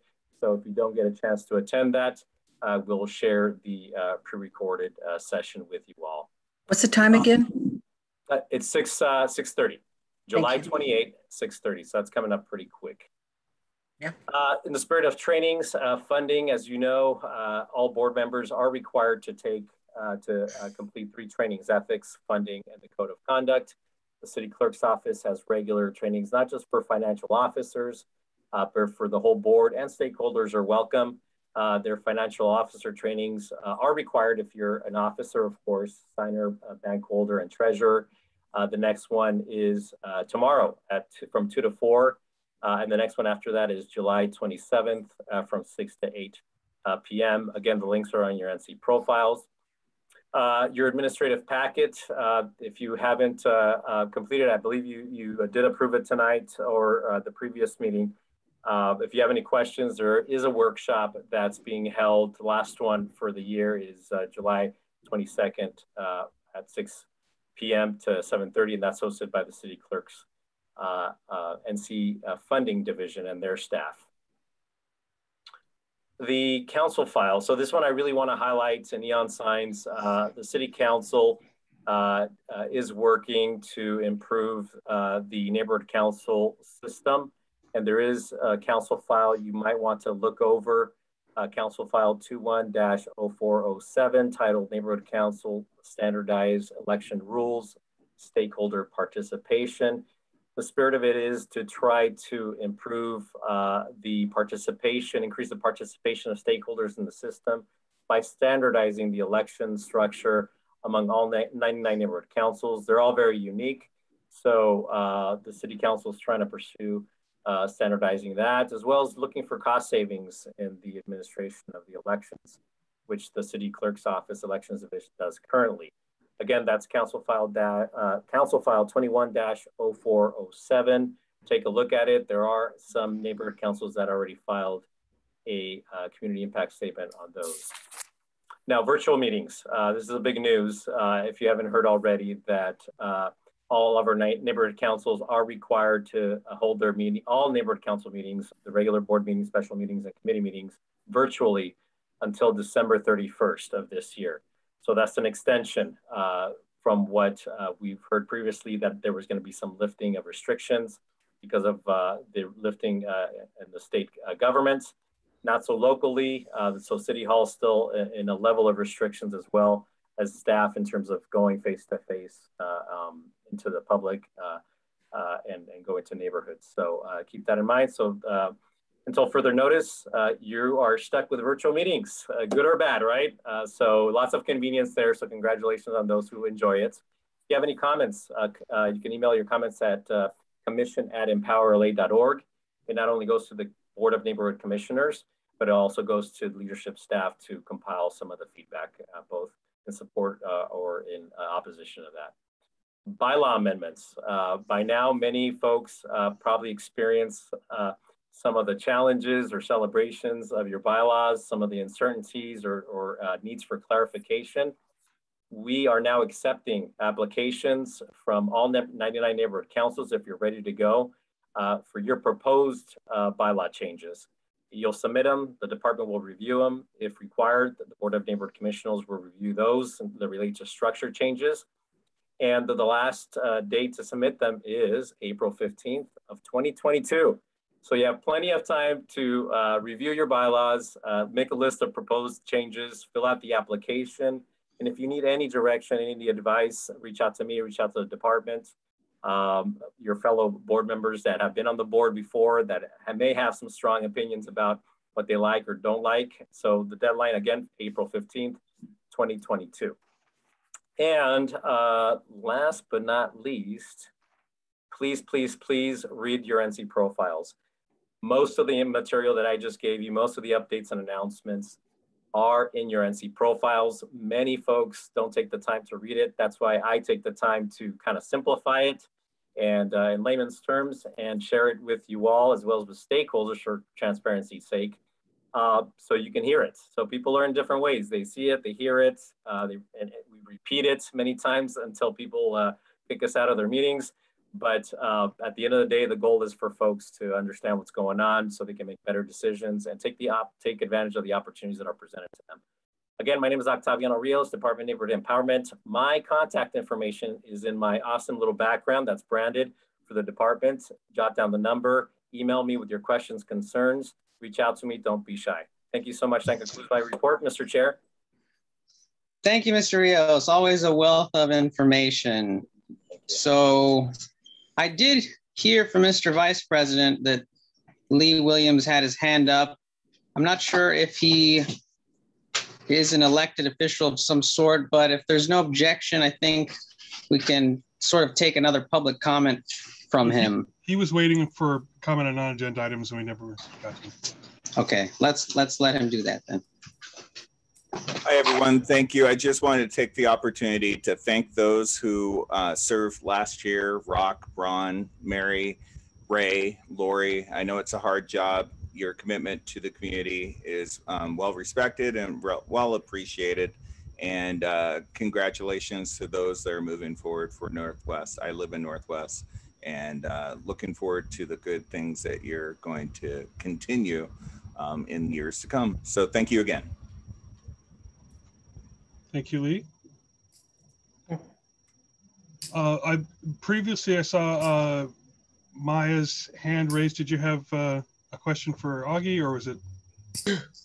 Just a point of clarification on the trainings. Is there like a, a required deadline by which we must complete these trainings? Uh, for the, I can take part of that. Um, for the uh, ethics training and the line. Um, con code of conduct. The code, code of conduct and the financial training. Um, and so in order to be able to vote on uh, an item that uh, uh, relates to our spending money, you'd have to have the financial training. Um, basically, to, to be a board member in, in good standing and to be able to vote at all, you'd have to have the ethics and the code of conduct. Um, so it's more or less pending. In order to proceed with those things, you'd have to have it done ASAP. And the financial officer thing is two hours for the treasurer thing, but the one that the rest of the board has to do is like 20 minutes. It's like a 20 minute video for the financial. Great. Thank you, everyone. I appreciate the clarification. Okay, well, thank you. Let's return to the agenda then. Are there any public officials or elected official representatives? I don't believe I saw any more. I saw one uh, last. I see Officer Brown in uh, um, attendees. Yes, we will go to the first responders, oh, first responders. report under yeah item nine. All right, Madam Treasurer, are you still a budget representative? Would you like to give a report and then a budget advocate report after that? Yeah, there's no report for budget rep, and we we don't have a budget. Usually, we'll give the budget advocate report, but we don't have that, and I don't know if we have a budget advocate report or not. So we'll see. Oh, Danielle's got her hand up. So. Okay, let let us have Matt, Miss Danielle Sandoval make a quick report then.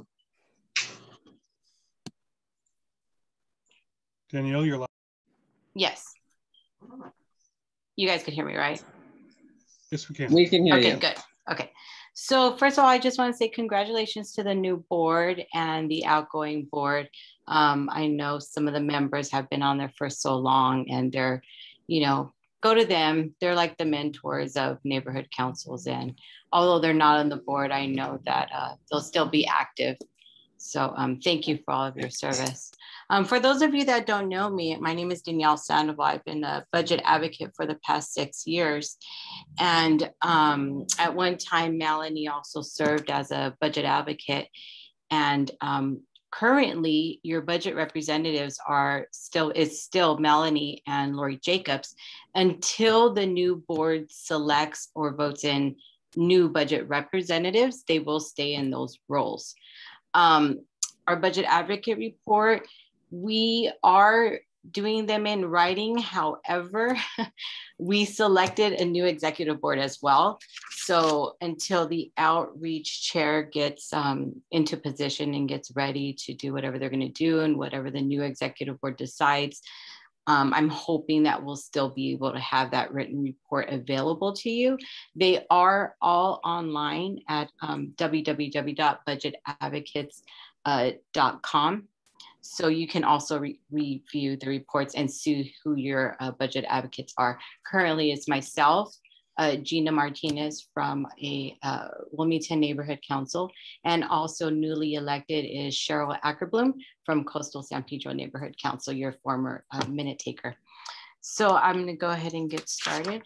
Uh, the city's budget on um, June 2nd Mayor Eric Garcetti approved an $11.2 billion budget, including a 7.5 billion of general fund monies for the fiscal year that began on July 1st. According to Mayor Garcetti's press release, the budget includes a spending plan that uh, dedicates nearly a billion dollars to confronting the homelessness crisis, 300 million for um, racial and economic justice across the city and commits uh, critical resources to helping Angelenos recover from COVID 19. In the current fiscal year that ended on June 30th, the city's budget and finances benefited from 640 million uh, infused from cash from Washington under the American Rescue Plan. It allowed the city to eliminate uh, this year's uh, deficit, replenish the budget stabilization fund 118 million, and create a reserve fund of almost 700 million, representing about 9.5% of the general fund revenues, close to its goal of 10% in the upcoming fiscal year, the second installment of 640 million of cash from the federal government will allow the city's balance to, but uh, will allow the city to balance its budget, restore services, address homelessness, and fund ongoing operations. However, the city is using one-time money to finance ongoing operations to tune uh, to the tune of uh, 134 million a clear violation of the city's financial policies. As a result, the city is projecting a budget deficit for the following year of 261 million, a number that will most likely increase uh, based on the comments by the uh, city's administrative officer. Um, again, this is all in writing and there is more amounts and just for um, sake of time, I will go ahead and email that to the board and so you can go ahead and review that. Um, I would like to also mention that we are going to have budget day um, this year on August 21st. They're hoping that we can have an uh, hybrid model, which would be in person, Zoom, and live streaming the event. We're still discussing it. So um, as I receive more updates on how we're going to handle budget day, I will gladly come back to the neighborhood council and give you an, an update on that. As I mentioned, we do have a new board. So our new uh, co-chairs is Jennifer Goody and Glenn Bailey. Um, we do have a new vice chair, which is uh, Barbara Ringett. and um, some of our other officers are the same. They haven't changed. So um, with that, is there any questions? Thank you, Danielle, for an excellent report. Let us move on now to the next agenda item, which will be the first responders reports. And I believe we had a couple of officers. Hi, good evening. I'm Officer Dan Brown from the LAPD Harbor Division.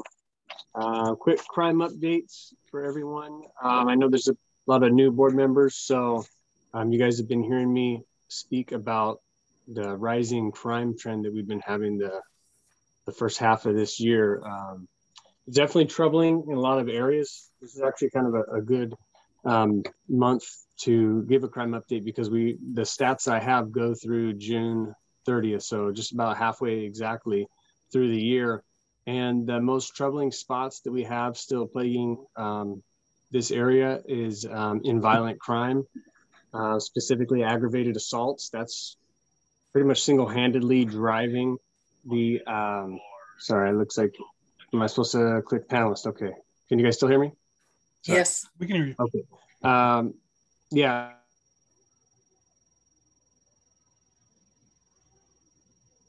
And we just lost. Now we cannot. Yeah, he'll rejoin momentarily to become a panelist in case he wants to show up. He's muted. Okay. Crime. I just it popped me off and now I'm back in. So you're back. There we go. Now I can see me in the picture there. Um, but yeah, I was talking about the aggravated assault numbers are the number one driver of our uh, violent crime increase right now, and that includes any kind of assault with a weapon, or it could be even a, uh, a battery that causes a severe injury to the person, um, where it becomes like a, what we call a felony battery. And we have had 68 um, in just my area of San Pedro, which um, just to let everybody know who isn't already familiar, the, the basic car area that I cover, um, it includes a pretty significant portion of central San Pedro as well. And it goes all the way to Pacific, to south down to 10th Street. So I know that technically the Northwest San Pedro Neighborhood Council District, um, I think it only goes as far east as maybe Meyler or so, if I'm not mistaken. But a lot of my aggravated assaults do include kind of that Gaffey corridor and um, just west of Pacific, like Grand Avenue uh, and that sort of thing. So a lot of the um, aggravated assaults aren't necessarily Northwest San Pedro area, but that being said, there's still a significant increase. So for example, um, June of 2021, for my entire area, I had 17 aggravated assaults, but just in the Northwest San Pedro area, there were seven. So still definitely concerning. And especially when you compare it to last year's number of three for the Northwest San Pedro neighborhood council area, it's, it's a huge increase. So that's definitely um, the, the big concern on the violent crime front. As far as property crimes go, we've had kind of a weird year because um, petty theft, like shoplifting and unattended property theft, bikes being left unlocked and disappearing, um, those numbers are way down, um, down by 31% year to date. Um, even um, cars getting broken into is down about 15% overall. We've had 100 uh, compared to 120 last year. But the things that are sticking really hard this year are grand theft autos, so cars actually physically being stolen, and burglaries, which you know, it's like when a home gets broken into, or it could even be a closed business. Those numbers are both up.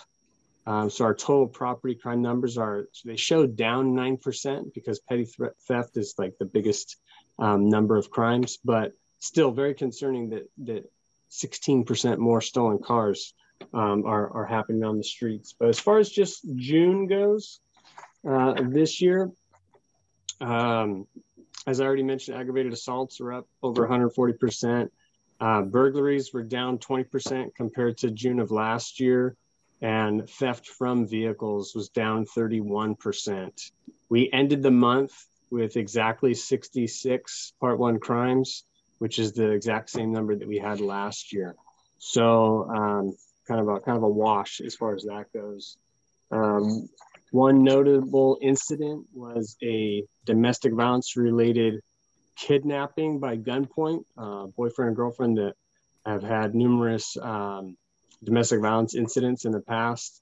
Um, on this particular occasion in late June, the, the man pulled a gun and forced the girl to go with him. When she didn't want to, he fired a round into the ground. So it counted as a as a shooting incident, but she wasn't hit by gunfire. But he was he was arrested. Thankfully, we're still waiting to see what the prosecution will bring because unfortunately, uh, we don't know her level of cooperation because she has still been communicating with him. It seems since the incident. So that that definitely um, is kind of like troubling.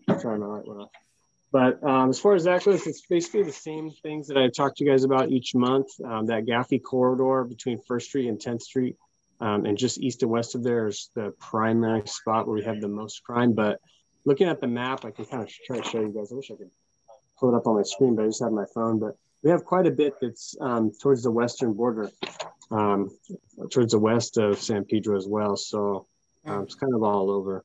But I'll, I'll, I'll finish my report with that and just open it up to any questions that anybody has.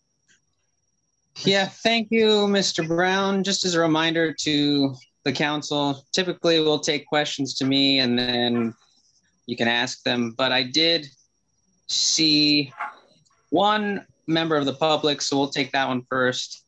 Diana Nave, do you have a quick question for Officer Brown?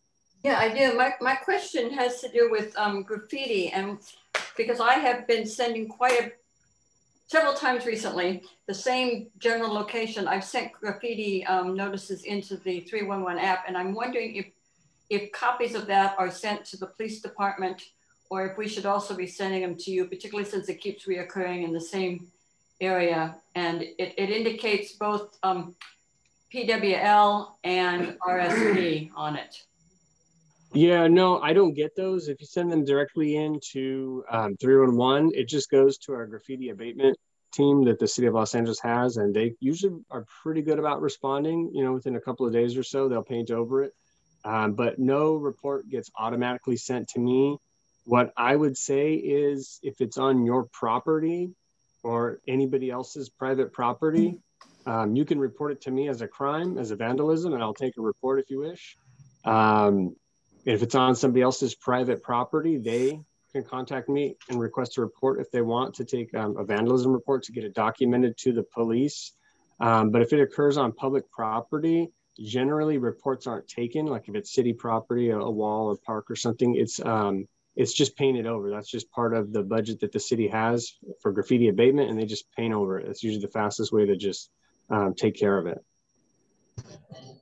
Thank you, officer. Council Member Dixon. Thank you. Officer Brown, I wonder if you know anything about the incident at Harbor Highlands gated community yesterday afternoon. Uh, no. A, an, indivi an individual armed, I guess you'd say, with a long metal pipe that vaguely resembled a weapon, a gun of some sort, um, wandered around and had contact with some of the people there. Uh, he was he was detained, I believe, at 7-Eleven and talked to, but uh, no arrest occurred. And I suspect I know the reason why, but you did I see you shake your head? You had not heard about it?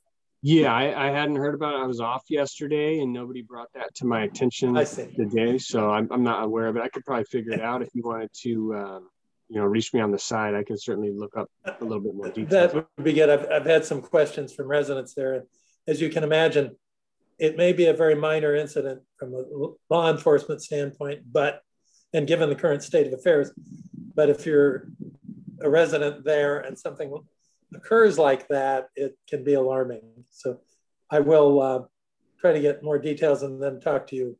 Yeah, and if I could just plug real quick, if um, you know um, any of you belong to a neighborhood where there's an active neighborhood watch, that is a great way for you to get more information about these details because I'll usually meet or have um, periodic meetings or um, just speak with the, the various neighborhood watch leads. And, and I get a lot of those types of questions where you're right. I'll be honest, it's not going to be a very big deal. Nobody's going to bring that to my attention if there's some crazy guy waving a stick around. I'm not going to know about all those because I'll be honest, it happens quite a bit. But when those, like you said, it's a big deal to the people that live there, though. And sharing that information among the other residents and then reaching out to the local senior lead officer for whatever area you're in, um, you can usually get a little bit more of the details on what the exact circumstances were, because there's rumors that spread, and then maybe a little bit more details about what the disposition of the incident was. So I just want to throw that out there. Thank you very much. You're welcome. Council member Maya Denola. Thank you so much. Evening, officer. Sorry, I'm uh, exhausted Ooh. on the East Coast right now.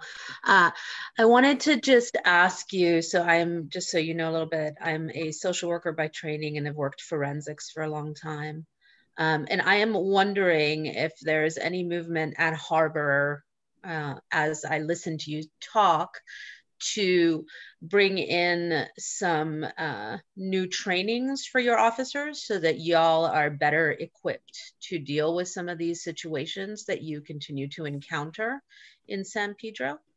Um, and I'm specifically referring to some of the newer, uh, more innovative and accurate um, forms of um, dealing with people in distress and crisis that we are seeing in some other cities around the country.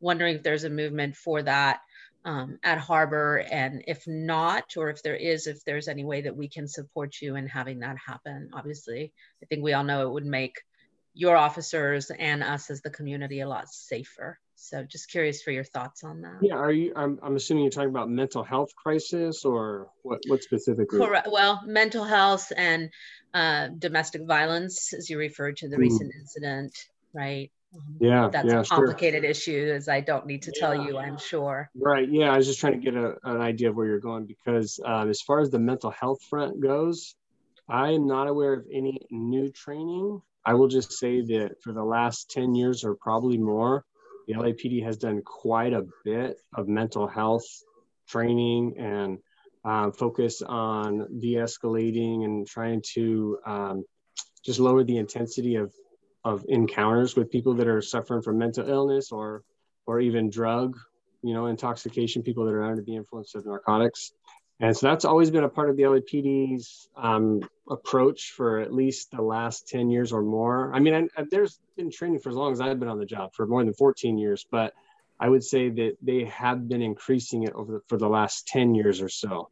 Um, in the last two years, I can't say that there's been anything new that I can really focus on uh, that I, that's coming to my mind. Um, but they are always working on new things. But as far as like a lot significantly different or more training. I can't say that I, I know anything about that. But what I will say on that note is that going back to last year, there was the, the defund the police movement, if you will, if I could say that term from last year that was in the summertime. Um, that led to the city pursuing an approach where law enforcement officers might not necessarily even respond to some of the situations like what you're talking about. And as far as I know, a pilot program was created and it, it was staffed, but to my knowledge, it has never been used and probably in the city as far as I know, but I, I can't really for sure say on that, but I definitely have not seen them in Harbor Division. But I'm, I, as I understand, it's the goal of the city to implement that perhaps at some point. So, but as far as for the officers specifically, a newer type of training of this, that kind of thing, no, I haven't really exactly heard of that. And I hope I answered your question without going too long there. Yeah. Well, thank you, Maya, just... for bringing that excellent topic up. And I think that this might be worth revisiting in detail at a future meeting or at a committee meeting. If that, if, if Mr. Brown would be willing, he could come to one of our committees and then we could speak at length on this topic. Absolutely. But for now, I know that we do have a few other council people's hands up. So I want to make sure that we give other people the time. So I have Mr. Councilman Goldfarb, and then we'll take Madam Treasurer after that. Um, can I just quickly, uh, as a complete newbie, just uh, I guess a point of order. I don't know. What do I do if I'm sorry, it's 11 o'clock at night on the East Coast. I have to go um, at this point. Is there something that I need to do to excuse myself? Uh, from well, you, you've notified us. Thank you, Councilwoman Maya, and we appreciate your service. We look forward to working with you in the future, and I think it's understandable. It's summertime, so we're, some of us are going to be on vacation occasionally. So, very good, Mr. Secretary. We'll note it, and we will see you. Thank you so much, everyone. Thanks, Maya. Bye, Maya. Okay, Officer Brown, how are you today? Um, um, so my my issue is um, that a few months back there was a death up on Westmont by the warehouses near the Field of Dreams. And it's come to my attention that there's been a lot of drag racing up there. A couple of weeks ago, there was um, complaints from one of the neighbor, from some of the neighbors that there were people making loud, there was loud car noises, which sounds like an offshoot. So are you guys aware of that? And are you I, I go up there quite often to run because it's there's not a lot up there and it's it's an easy it's easy for me to do the sidewalks. Um, I also every weekend when I do go up there, I find a lot of empty bottle beer bottles and stuff like that. So I know there's activity there. Um, what have you What are you doing? Yeah, so you're talking about yeah on Westmont east of Gaffey, right? There's the, yes. that, the traffic issue. Yeah, I have actually received some complaints from the businesses that were over there, and um, in response to those complaints, I have I have um, done some patrols over there. But I'll be honest, I haven't ever come across any kind of drag race that's over there. Usually, when we get these kind of traffic related complaints, which are many, um, I'll try to do what I can. A lot of times that's happening late at night, as I understand. Generally, I don't personally work late at night very often, although I will usually do it just periodically just to try to address issues like this. But because it's so infrequent, um, if it's not a daily occurring thing, it's sometimes unlikely that I'm able to come across it. So um, in this particular case, and I think the first time I heard about this complaint was well over a year ago, um, we sent out a message to our South Traffic team, and they do have officers that do work all hours of the night. Um, I don't know personally if they have gotten any tickets over there for speeding or anything. I could try to follow up and, and see for you on that. But um, from my own personal experience, I haven't witnessed it myself, although I've seen the, the tire marks in the road. So it's certainly something that I know um, is happening, or at least periodically. I think the incident that you're talking about where um, a person died in a motor vehicle accident was more related to intoxication than drag racing. I didn't hmm. hear any um, allegation that there was more than one car involved, and I believe alcohol was uh, and speed. Obviously, the guy was speeding himself, but um, I think alcohol was the bigger player on that one than a like a more formal drag race, if you will. I think with that particular area, because it's so quiet at night when there's nobody, you know, at the businesses and there's no street lights, I wouldn't say that it's likely um, a formal drag racing, but it's where people who want to do that kind of thing on their own know that it's going to be a quiet place and and um, you know away from the public eye. So, but no, I haven't personally seen anything. Just to answer your question. Thank you. Thank you, officer. Just as a reminder to the council, we do have an excellent presentation by Michael Cham from the Port of Los Angeles up next. So let's take a couple more questions and then maybe we will decide to move on to that. And typically we stop at nine o'clock and we do have other items. So, um, oh, I recognize Madam Treasurer and then we'll take Armando after that. Yeah, um, to follow up on Dan, what Dan Dixon had said to you, um, Dan, they, um, what happened was the gentleman, as we'll call him, proceeded to Big Nick's is where he started, and he vandalized a couple of cars and vandalized. I was in messages with John Bagakis, and the perp vandalized one of his employees' cars, and she was going to get out of her car, and he broke all of her windows and attacked her in his car, her car, and she was scared I guess there was something filed on that. Other cars were damaged in the parking lot. So calls went in on that. And then he proceeded to head to the gated community and jump the fence.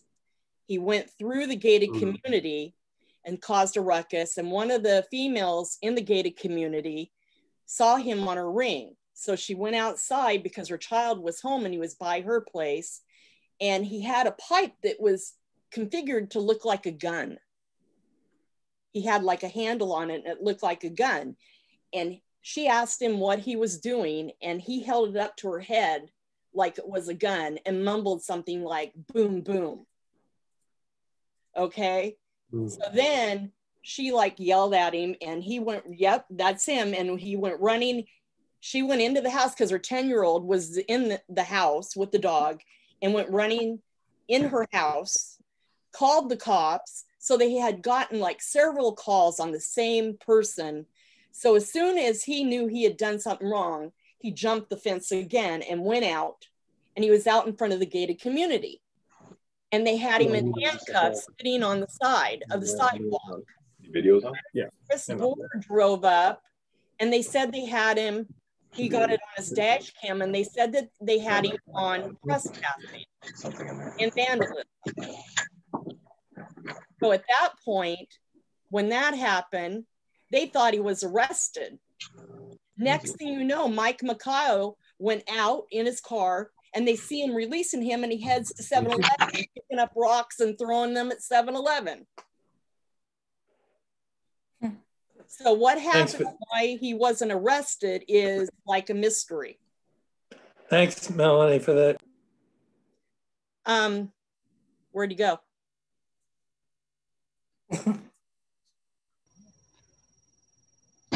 Thanks, Melanie. I will follow up with Officer Yeah. Brown. Yeah, it's, it's crazy.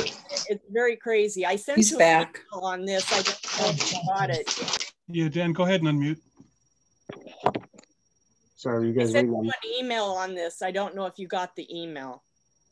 Because I, I Did you do. send me an email? Yes, yes. Okay, I'm sorry. If you sent me an email today, I didn't I didn't see it. Um, but I, I can, like I said, I can look up this incident Yeah. to get more details. We can talk offline about it. Um, I just have to I just have to pull it because I didn't see that. Also, we got to figure out what we're going to do about those bathrooms. The lock is broken. Melanie, and somebody- Melanie, can this be offline? Okay. Yeah. Yeah, let's come to order. Typically, the sort of back and forth style is really suited to a committee.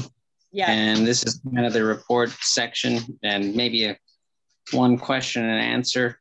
But Armando, if you'd like to ask a question, and then perhaps we'll see if we want to move into the port presentation by Michael Cham. Uh, Thank you, President. Uh, Officer Brown, how you doing? This is Armando. Doing good, sir. Doing good. How are you? Um, ate up, I'm ate up, man. I'm totally ate up on things.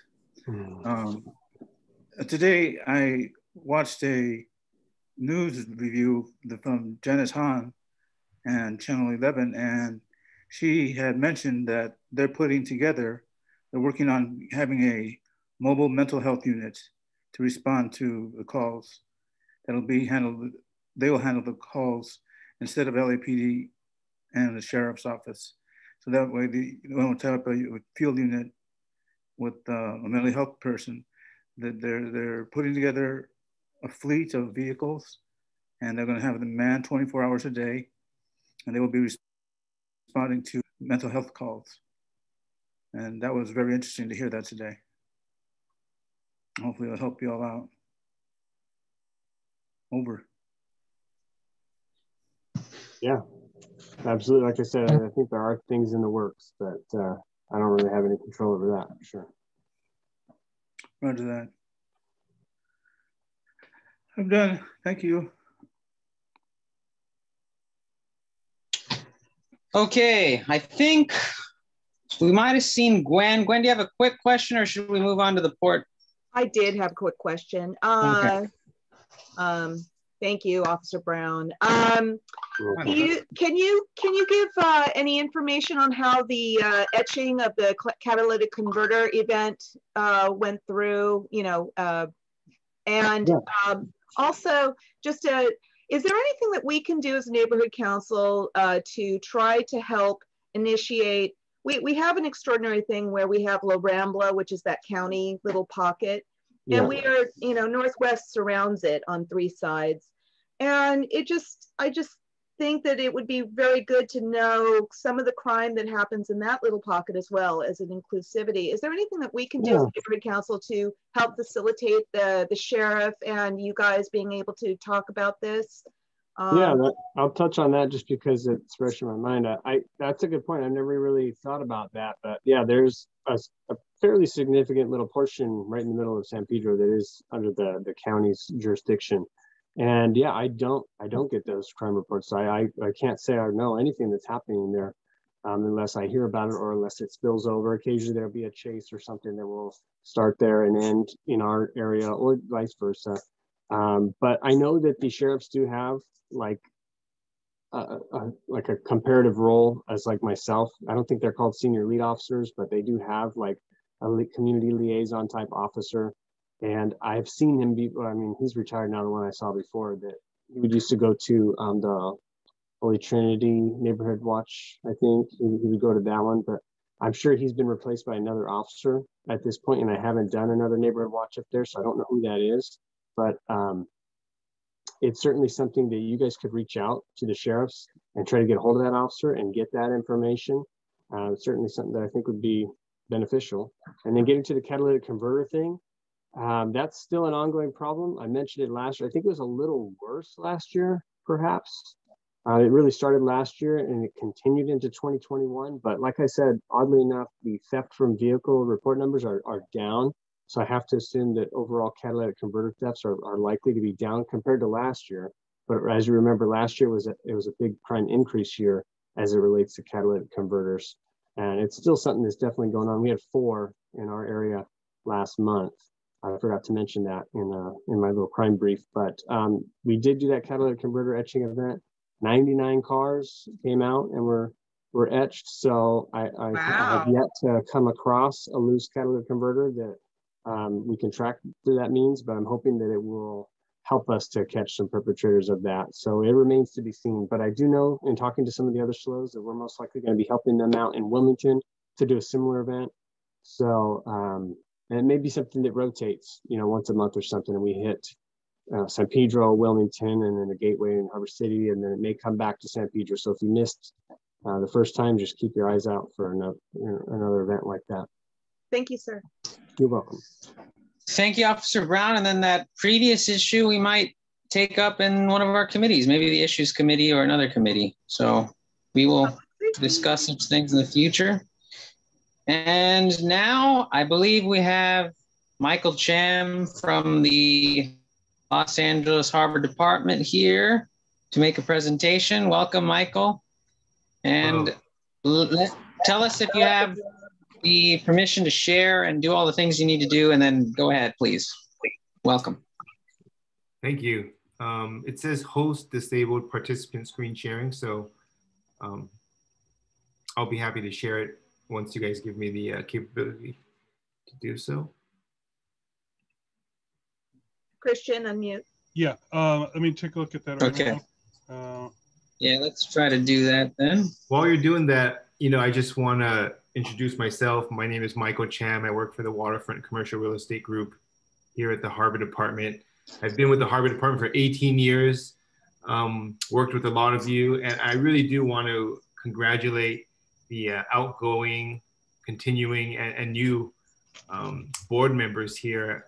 I am fully appreciative of the fact that you all volunteer your time um, to do these meetings and to support the community. And it's my opinion that if more people cared about the community like you guys do, uh, you all do, um, you know, things would be better than they are now. So I, am grateful for, for what you do, and I'm happy to be able to present on this item today. Um, I'm going to go ahead and select the screen and try to see if this works. There you go. Let me know if you can see my screen. I see it. Great. So I'm here to talk to you all about the San Pedro Waterfront Connectivity Plan. Many of you know this is something that um, has been strongly advocated for by all the San Pedro neighborhood councils, including Northwest, as well as um, the San Pedro Chamber of Commerce and, and CD15. And, and I'm excited because this is going to give us a chance to work closely together on this effort, um, especially for those of you who are new or, or newly elected. This will be a great way to, to be onboarded into the LA waterfront and, and what we're doing right now. All right, so my PowerPoint, I'm gonna try to just tell you what the plan is, why we want to do it now, you know, who's going to be working on this, and um, give an overview of what uh, the RFP will be. and, and the contents of what we hope this connectivity plan will have and next steps. The San Pedro Waterfront Connectivity Plan, it's a dynamic, long-term planning document. We want to build upon what we have now and the objectives we have, and we want to develop a conceptual program that guides future port improvements and private development sites into, we want to connect them all, right, into a network of, of spaces that people can get through, um, the public can get to, both um, from each other, from one area within the waterfront to another, and as well as from the community of San Pedro and larger region into the LA waterfront. We want to make sure that we provide the, the ways to do that. And so we, we want to uh, emphasize a few things about the plan. It's a visioning document. So therefore you don't need to build permits on, um, pull permits on this just yet. You don't have to do CEQA analysis. Um, it's gonna be something that we pre prepare for and then implement individually as we go forward. So through that project implementation, as we all know, things change quickly, whether it be the economic market, whether it be permit requirements or applicable laws and, and everything is subject to, to board discretion through the annual budget process. So, so this plan is gonna have a lot of excellent ideas in it, um, but it is not something that is automatically funded or automatically permitted. Um, all those things uh, need to take place afterwards. And it, of course, it cannot predetermine any future board actions. Why is it important to do this connectivity plan now? you know, the waterfront has been developing. We've been building a lot of infrastructure. We have some existing private developments. And as these things have come on board and as we build them out, they, they, they, pre they present new connectivity opportunities. Um, we're going to focus on San Pedro in this one, but Wilmington will soon be kind of ready for that too as things get further along there we want to address connectivity for the projects that you know originally weren't even contemplated at the time that we did the 2009 San Pedro Waterfront EIR. You know, um, downtown San Pedro has developed itself, and we can see better how things are taking shape there and, and the connectivity elements that we want to implement there. We have developments that weren't in the 2009 EIR, like the USS Iowa. We have things that were in that EIR that don't really apply anymore, like the North Harbor Cut, because it's being used for a different purpose. And we've seen significant development, whether it be in West Harbor um, project, AltaSea, and, and on both sides, things have changed. Even the redevelopment of Rancho San Pedro um, is, is a connectivity opportunity not originally contemplated. we are looking forward to um, preparing new renderings, new graphics, new maps this is from the 2009 document, and the circled areas just show how um, we need to uh, prepare new renderings, new new maps that show what's currently there now and, and what we can do in the future. And frankly, uh, this effort is a really significant messaging opportunity. We want to reinforce the vision and, and and explain to the community as well as the development community, the investors, that the port has um, provided significant financial commitment um, to the LA waterfront. We've built out Promenade. We, we, uh, we see a, a, burgeoning downtown San Pedro. We want to show them that uh, there will be a thoughtful wayfinding program as things get developed. And we want to just show how the port has delivered on its commitment to invest 10% of its operating income into waterfront projects. And we want to show uh, everyone and communicate to the public as well as the development community that we have reasonable expectations on implementation of these um, connectivity plans, whether they be market triggers or which projects would tend to come first before others, which ones are higher priorities, and when phasing would occur.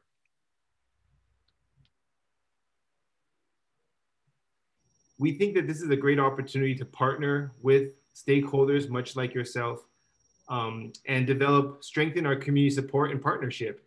This connectivity plan, like I mentioned, was, was uh, unanimously supported in the 2019 outreach pre-COVID by the you know CD15, the Chamber of Commerce, and all the um, neighborhood councils. Who's on the team? Who's going to be doing the, the, gr the grunt work, day to day work? Will be a, a, team of port staff, the Waterfront Real Estate Group, our goods movement, engineering, community relations. You guys know Augie. We're going to be managing the effort, but we do intend to bring on a consultant. And our intent is to utilize a consultant, consultant, but also utilize the professional services that we have internally. So the technical vehicular traffic analysis, which can be very expensive, um, a lot of the outreach meetings, um, staying up late, and um, all those things. We think that we, we want to keep those things um, in-house as well as utilizing the consultant, but I think we'll be able to save money on, on the overall cost of the, of the project effort. But we do intend to use a consultant, and for that, we will have to release an RFP. We don't have bids back at that this stage, is early stage, so we don't know exactly how much the cost will be, but we anticipate it will be 250 to 500,000 dollars, and the duration should be up to 12 months. Not just because of the development of the plan, but because we intend to incorporate um, input, layers of input, a lot of uh, communication, especially um, through the monthly meeting that we have with the neighborhood council and chamber presidents. So that's why we think the duration may take up to 12 months. So looking at this, um, you know, plan, what's actually going to be in it? What is the consultant going to do?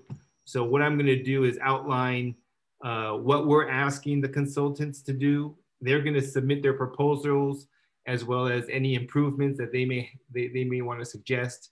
Um, but what we're saying is initially they're going to come on board. We'll do information review, let them um, understand the history of the LA waterfront. We'll do a tour of the site, uh, kickoff workshop internally with port staff, um, then go out and do significant stakeholder engagement, develop the draft plan, present it to the Board of Harbor Commissioners and the public in a public meeting, receive comments from the public and the board, revise the plan, and then come back with a final for action by the board. Now, what are they going to be looking at? What's actually in the, the, the document itself? Again, this is what we intend to put in the RFP, and they will come back and give us um, their responses of how they would do it, the consultants would, as, as well as some of their ideas that they have.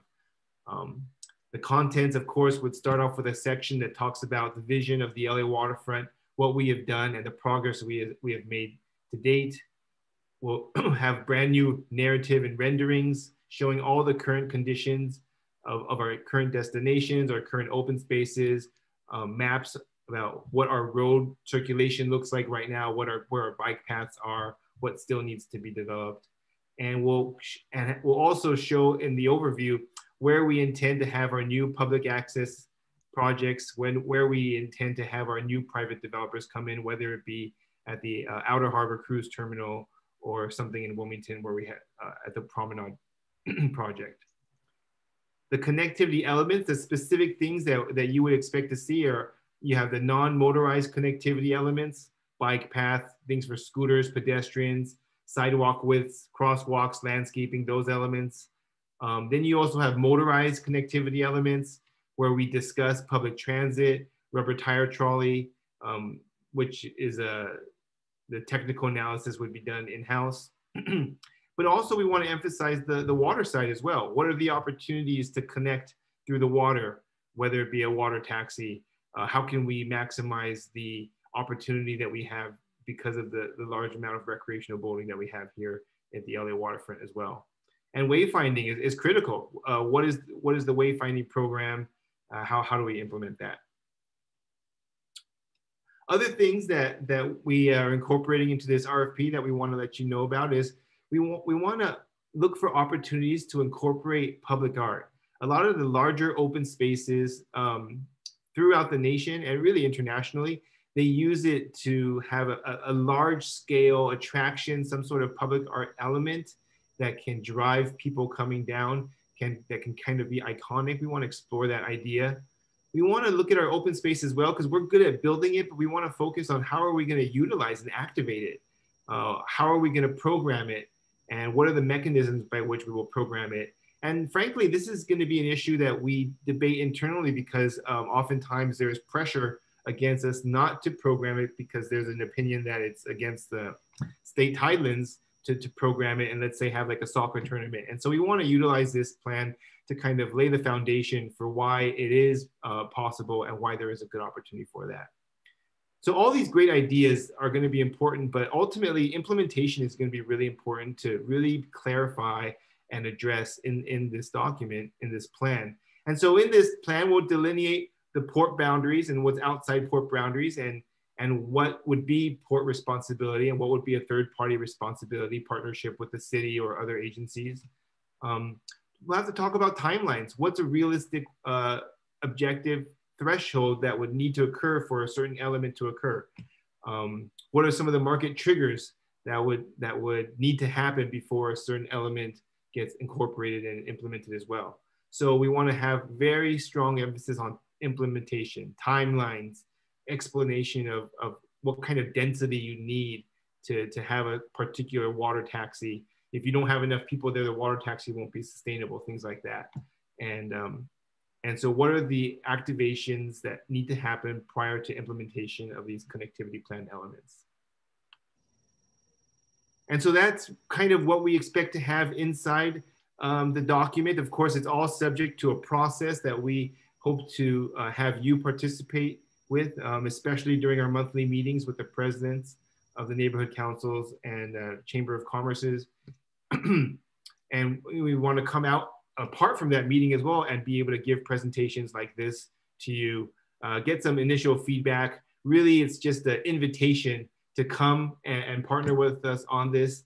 And, and, we do intend to release the draft RFP um, probably near the end of this summer or, you know, maybe a little at, right after that. And so that's my presentation. I, I, um, I'll be happy to take any questions now if you have any. Okay, and uh, President Guzman has given me the chair for this particular agenda item, and I would just like very quickly to uh, ask a uh, clarifying question and make a slight comment. One, so would you say that overall this plan in, in your your group is is kind of a, uh, a think tank for the, the, these sort of big picture land use issues for the port? Um, and are there, in, in terms of an idea pipeline, in terms of things that eventually end up with the uh, the commissioners, um, are, are, you guys kind of the main funnel for that, or are there do they, you know, like who else might come up with plans like this, or is this really kind of your wheelhouse?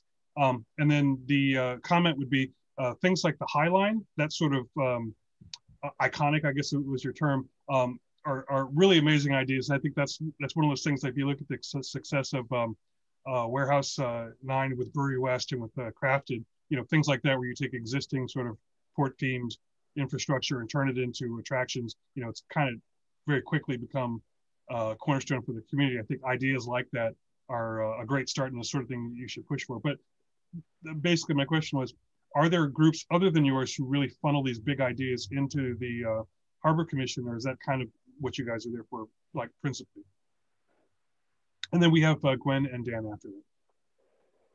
You know, I'm not sure uh, what what your what the question is, but I'll try try to answer to the best that I that I understand.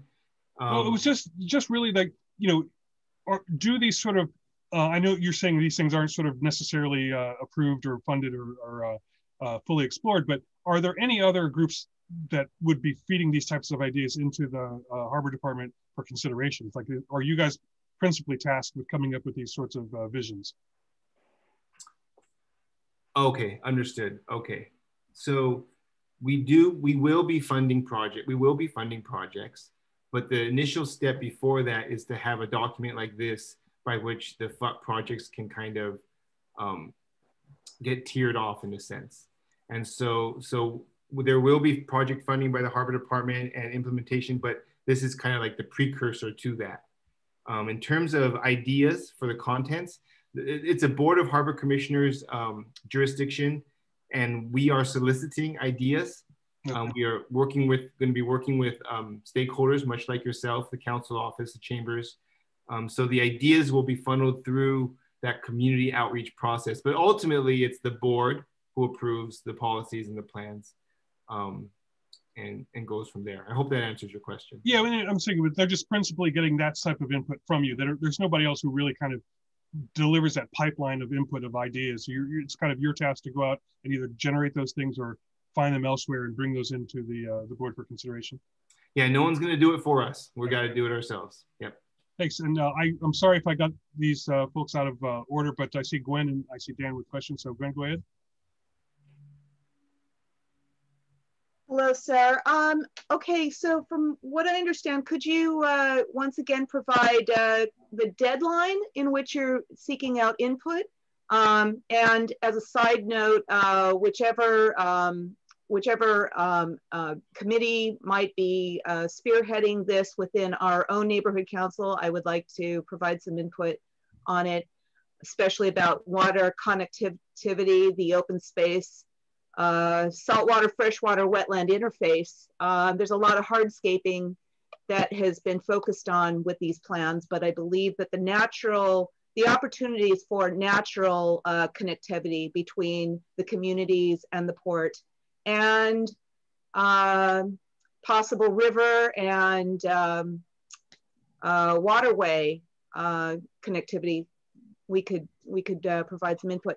Uh, so once again, just in review, uh, what is the deadline? And other than our input as a neighborhood council, can you give some other opportunities that we can, as stakeholders, participate?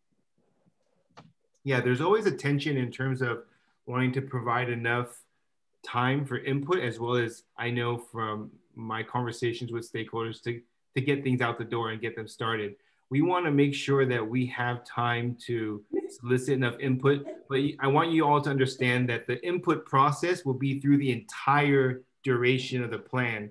Uh, the participation of the community will not start and end in a month when we release the RFP or, or when or it was not not end at the point which we release the RFP, but really the conversation and the partnership will be ongoing throughout the entire duration of the plan. For this particular stage, um, we don't anticipate um, releasing the RFP until late in the summer, maybe a little bit after, but it really also depends on how the community uh, responds. Is it like, wait, wait, wait, everybody stop everything? Or is it good job, let's keep going? You know, or I just have a few comments that I want. So we're kind of gauging the interest from the community as well. The, the primary mechanism that we feel is so productive is actually the, the president's meeting where they can um, monthly meet at the port with our staff and take the feedback that they've received from their stakeholders, whether it be committee or board. The port is happy to participate in those committee discussions as well, but we feel that the um, the really productive uh, in discussion really happens at that monthly meeting. And so we, we look forward to working with Christian or whoever else will be attending um, for, for you guys. All right, and uh, thanks very much. And we're going to go next to Dan, and I do see that uh, Pat Nave is in. Uh, he's got his hand raised in attendee. So uh, Dan, you're next. Thank you, Michael. I, I just want to take a step back here for my feeble ability to comprehend. Am I correct that what you're talking about in this plan is essentially the connective tissue between the already uh, defined and funded uh, developments in the harbor, including AltaSea, the, the market or whatever it's called now, and all the way down to the cruise terminal. And these are the elements that bind those things together. The funding for it comes primarily from the port uh, and, and doesn't, it doesn't accrue to the projects already underway. Is that essentially what I'm hearing? Is that essentially correct? Yeah, you, you are correct. This plan is gonna focus on the connective tissue that will connect the LA waterfront internally and connect the LA waterfront to the community of San Pedro. And that, that connective tissue takes the form of having the right signs out, having the right pedestrian access, having the right landscaping, having the right ability for bikes to come in or the right, uh, the, the, you know, how much parking we're going to need to have, Th things along those lines. That's kind of the connective tissue that I'm talking about. And, and like I was saying to the previous, to answer the previous question, you start with the plan and then you do the implementation. So it's, uh, and, and it kind of it is, it's a dynamic plan too. So if things change, then we need to change with it. We can't just build build the road to nothing if not if no development happens at a particular spot. And just a quick follow up that the funding for this comes from a different pot of money, or at least a differently used pot of money than all than that already designated for, say, the, the marketplace. Yeah, yeah. Uh, what I was talking about primarily was responsibility for who would be responsible for implementation of certain portions of the plan. And I'll give you an example. So you have the port jurisdiction and you want to have a certain type of tree. And then you kind of want to have that same tree going into this the community of San Pedro. We would not pay for the, mm-hmm. the tree within outside the port's jurisdiction, but then we would still have that plan. So when the funding's available for that, they can build it and there'd be a seamless sort of interface between the two. That would be a very elementary example. So excellent information and, and obviously the community, this is where the community comes in uh, to, to allow the port to do its job, but uh, really make it a mutual benefit to everybody. Thank you. Absolutely. Thanks very much. And uh, we do have two uh, attendees with questions. I see uh, Pat Nave and uh, Augie. Um, and I would just as a quick reminder, I should have brought up earlier, we are approaching, we are about what, 17 minutes from 9 p.m. So uh, if everyone could keep their comments and reactions uh, brief, we do still have a, a, a, limited number of items on the rest of our agenda to get to, but I'd like to go yeah. to Pat Nave next.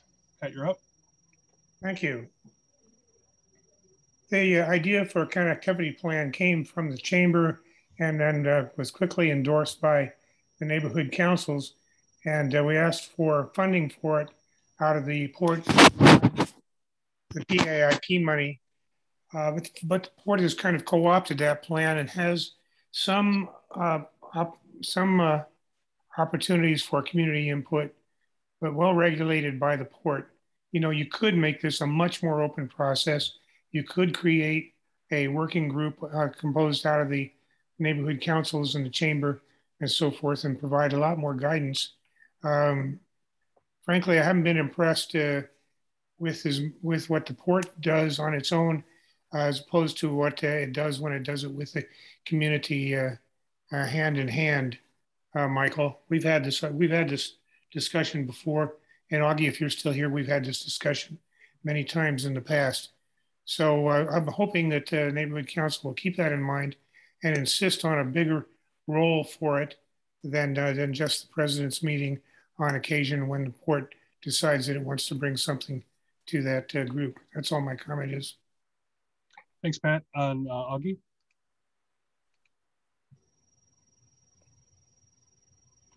Go ahead and unmute. Can you hear me now? Yeah, we got you.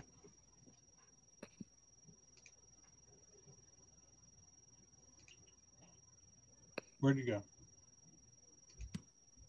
We heard you and now we don't. You can hear me. You can hear me now? Yeah, you're on. I just want to say that we'll be uh, tomorrow night at the councils. I will be at the joint planning committee meeting of all the neighborhood councils. Uh, I believe that meeting starts at 6.30 and Diana Nave chairs the meeting. So we'll be there again tomorrow night. Thanks very much. All right, Mr. President, would you like to take the uh, take the wheel? Yes, thank you, Mr. Vice President. So it is 846 on my timepiece. I think that if it's the pleasure of the board, we should at least get through the consent calendar and also the financial items, and then we will decide if we want to adjourn. So let's move on then. And thank you, Michael. That was an excellent presentation, and I look forward to speaking with you in the future. Thank you, sir. Item number 11 is the consent calendar. So I'll entertain a motion to approve the consent calendar. I move. Melanie. Oh. Okay, there's been a, Gwen Henry. Okay, there's been a motion by Madam Treasurer. There's been a second by Gwen Henry to approve the consent calendar. The single item is the June 2021 board and stakeholder meeting minutes.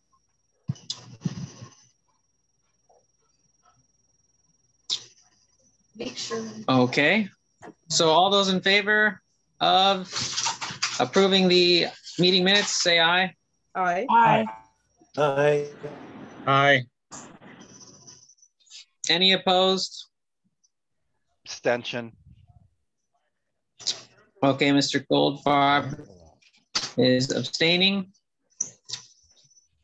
So the meeting minutes are approved. Okay. Item number 12 is the committee reports and motions. So if there's no objection, perhaps we can take up 12C and Madam Treasurer can introduce the Budget and Finance Committee items. Mr. President, I'm not sure if, uh, to what it pertains, but uh, Diana Nave has had her hand raised. And I wasn't sure if it was something we needed to get to before these other items. Can we uh, check in real quickly? Diana? Yeah, she might she might be interested in 12A or B. So let we can check in with her. Yes. Diana, you're on. Yeah, I'll, I'll, I'll, I'll hold my reports until you have time for them. However, I was concerned because Augie uh, mentioned the planning committee meeting and the planning committee meeting is actually at 6 p.m. on Wednesday, not thank you. 6.30 tomorrow. That's good to know. Thank you. And the main agenda item is the connectivity plan. Thank you. Thanks, Diana. Okay. So we'll return then. Madam Treasurer, would you like to introduce the finance items? Yes, um, just FYI, the only people that can vote for this tonight are the previous board members that have already taken their financial training. Um, Vic, you stated that you've taken your financial training already? Yes, I completed it over the weekend. Okay, then that's fine. You can vote. Um, just one sec. Um, anybody else take their training that's new on the board? You did take it, Angela? Okay. Yeah. Alrighty, so you can vote.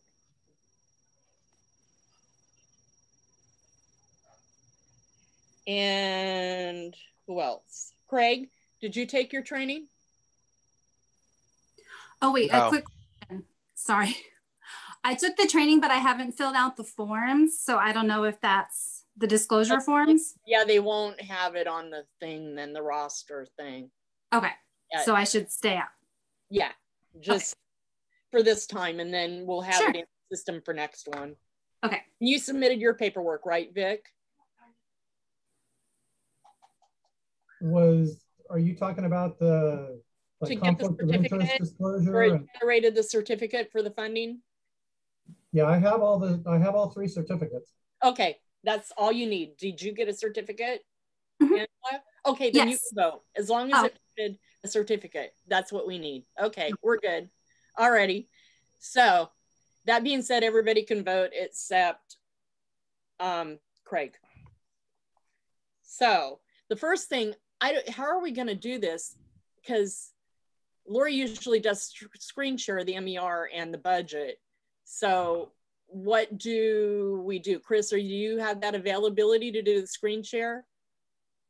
I, I think I could promote you, Madam Treasurer. Do you want me to try to promote you? That's fine. that might work. I, I have the technical capacity, but I don't have the document itself. So Okay. Let me try to promote her.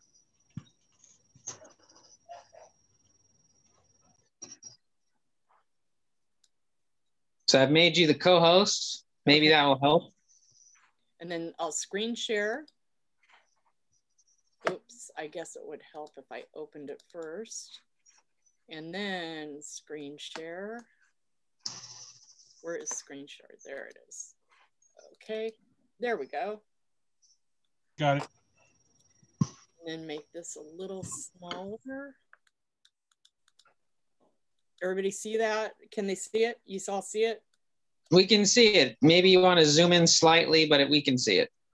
Okay. Alrighty. So this is the June MER. This is the final for the fiscal year for 2000 and 2021. Um, we paid out two months of the mailroom and we paid the last minute take minutes for um, last month, which closing out the fiscal year, we're going to have $7,431.19 come August time when they give us our rollover money, but that amount's going to roll over. So that being said, this is out of committee. So any discussion regarding the MER? Let's see, any hands? Can you scroll down a little bit so we can see the whole thing? Yeah, it's right there. Thanks. That's the whole thing.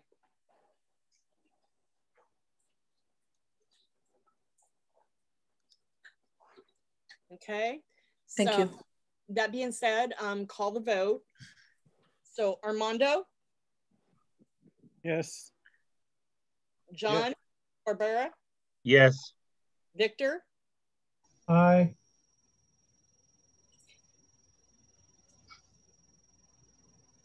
yes? He Or said no? aye. I said Aye. aye, yes. AYE. Um, man, let's see. John DeMeglio, Yes. Dan Dixon, Yes. um, Cynthia, Yes. Christian, Guzman. Oh, Yes. Have, wait, have you done your training? Well, I did it last year when I was on Northwest for like a week, so I'm I'm not sure if that one's still active. So I'm just gonna abstain. I'll abstain to be on the safe side. Gwen, Yes. Melanie, yes. Kelly, Yes. Angela, Yes. and Chris Valle, Yes. and Adrianita. Yes. Okay. Then the next, this is our budget. This is closing us Uh, out. quick, quick comment. Um, I checked the official website and it says Christians is good till 22. So Oh, they- yes. a- apparently he's good. Well, thank you, Mr. Secretary. Okay. looking out. So, alrighty. So Christian, yes. we'll change that. Um, so the next item is the budget. This is our closeout for fiscal year 2020, 2021. Um, again, it shows here at the bottom, our rollover amount is $7,431.19. Um, which will be great to add to our two, 32,000 that we get for the budget next year. So it'll give us almost 40,000 to have for next year. Got a committee also in discussion. Okay, so we'll call for the vote. Um, Armando, Yes. yes? Yes. Okay. John Barbera, Yes. Victor, Yes. um, John DeMeglio, Yes. Dan Dixon, Yes. Cynthia, Yes. and um, Christian Guzman, Yes. Gwen, Yes. Melanie, um, Kelly, Yes. Angela, Yes. Chris Valle, Yes. and Adrianita. Yes. Okay, Mr. President, that's it. Excellent. Thank you, Madam Treasurer. Typically, we could go until nine o'clock, so we could give one more report, or if there's a, I could entertain a motion to adjourn and we will see you all at a retreat. So what, what is the pleasure of the board? So Um, moved. Mr. President, can I make a comment? One thing I want to recognize is that this month, almost every committee did not have meetings. So there should be no reports for any committee other than maybe by, bylaws and maybe, I think everybody else was dark. Okay. Mr. Councilmember I- I- Dixon, did you make a I motion? I made, I made a motion. I so moved it. Uh, we do see Okay. trans- Can we get a second? Is there a second to adjourn the meeting?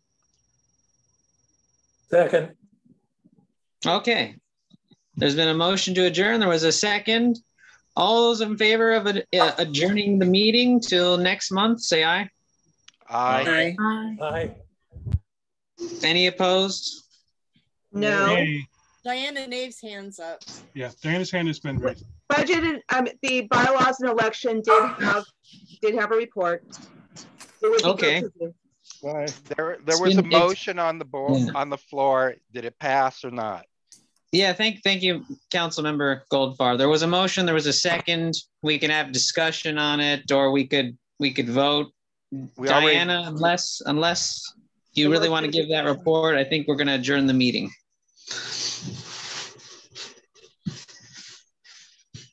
I was going to give a very brief report, not the one I had planned, but I did want to give a brief report. If that's okay. Go for it. The Point of order, President, we had a motion, we had a vote. It's either the motion, either we were following the rules or we're not. Point of Yeah. order, we did not have Yes. comment, we did not have a, a comment on it before we took the vote. Yeah, I Vote taken. appreciate I appreciate that, Councilmember Goldfarb and Councilwoman Henry. If there's no object, well, let's take let's finish taking the vote, and if if we want to vote in the negative, we can take the report and then we'll adjourn it after. So those who would not like to adjourn, say nay and say it loud. Nay. Nay. Nay. Okay, so we'll take up we'll take up the report and then we will see if we want to adjourn after that. Then. So I'm gonna, I'm gonna give a really brief report then. The first thing is that we have, as you know, two vacancies. They're both in the Vista del Oro area. To date, we've received um, four applications. One of whom was ineligible because the address was in the Averill area, not the Oro area. But applications are are due um, August 2nd, so there, there may be more. And if you know anyone that's interested in applying, the application is on our website. Um, I have some statistics on the election, and I won't go over that, but the, the committee is gathering information on what worked well and what problems you encountered during the election. And so if you have any comments on that, if you would just email them to me, um, we can add them to the list and we'll be putting together to bring back to the next board meeting a, a draft letter with that. And the other thing that we're gathering information on is any bylaws changes that people are aware of that they need to be made. So that's that's the brief report. And I just want to say one thing out of my planning report, if I may. Um, Go ahead. Go ahead. and, and again, I had prepared a much longer presentation, but the one thing I think is important is the city's in the process of updating their, their housing element of the city's general plan. And there's, there's a lot of things in there that you might want to be aware of. And the, the last webinar on it is tomorrow. The information on how to access that webinar is on our website. What was the name of the site, Diana? It's called, well, it's called the Plan to House LA. Um, the, it, it's the housing element of the city's general plan as required by the state law. Okay. This is where the city Okay. show how it's going to accommodate 450,000 new housing units over the next seven years. All right, got it. Thanks. What time? Thank you, Diana. We did, there was an email sent out by the Northwest San Pedro Neighborhood Council on it, so we can find that invitation on the internet or in your emails if you're subscribed. Check out our website. Email Diana if you have a question, if you have her email. We are at and past nine o'clock. Let's try this again. We're learning together. I'll entertain a motion to adjourn. So moved. Okay, there was it was moved. Okay, we heard a few seconds. All those in favor of adjourning, say aye. Aye. Aye. Any opposed?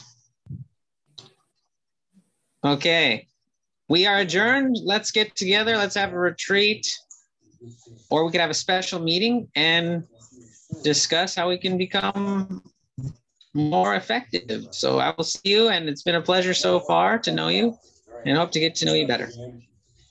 Welcome aboard, Night, everybody. everybody. Good night, Mr. President. Good night. Bye bye. And Vice Good night, Mr. Chair. Later. Night. Night. Night. Argentina.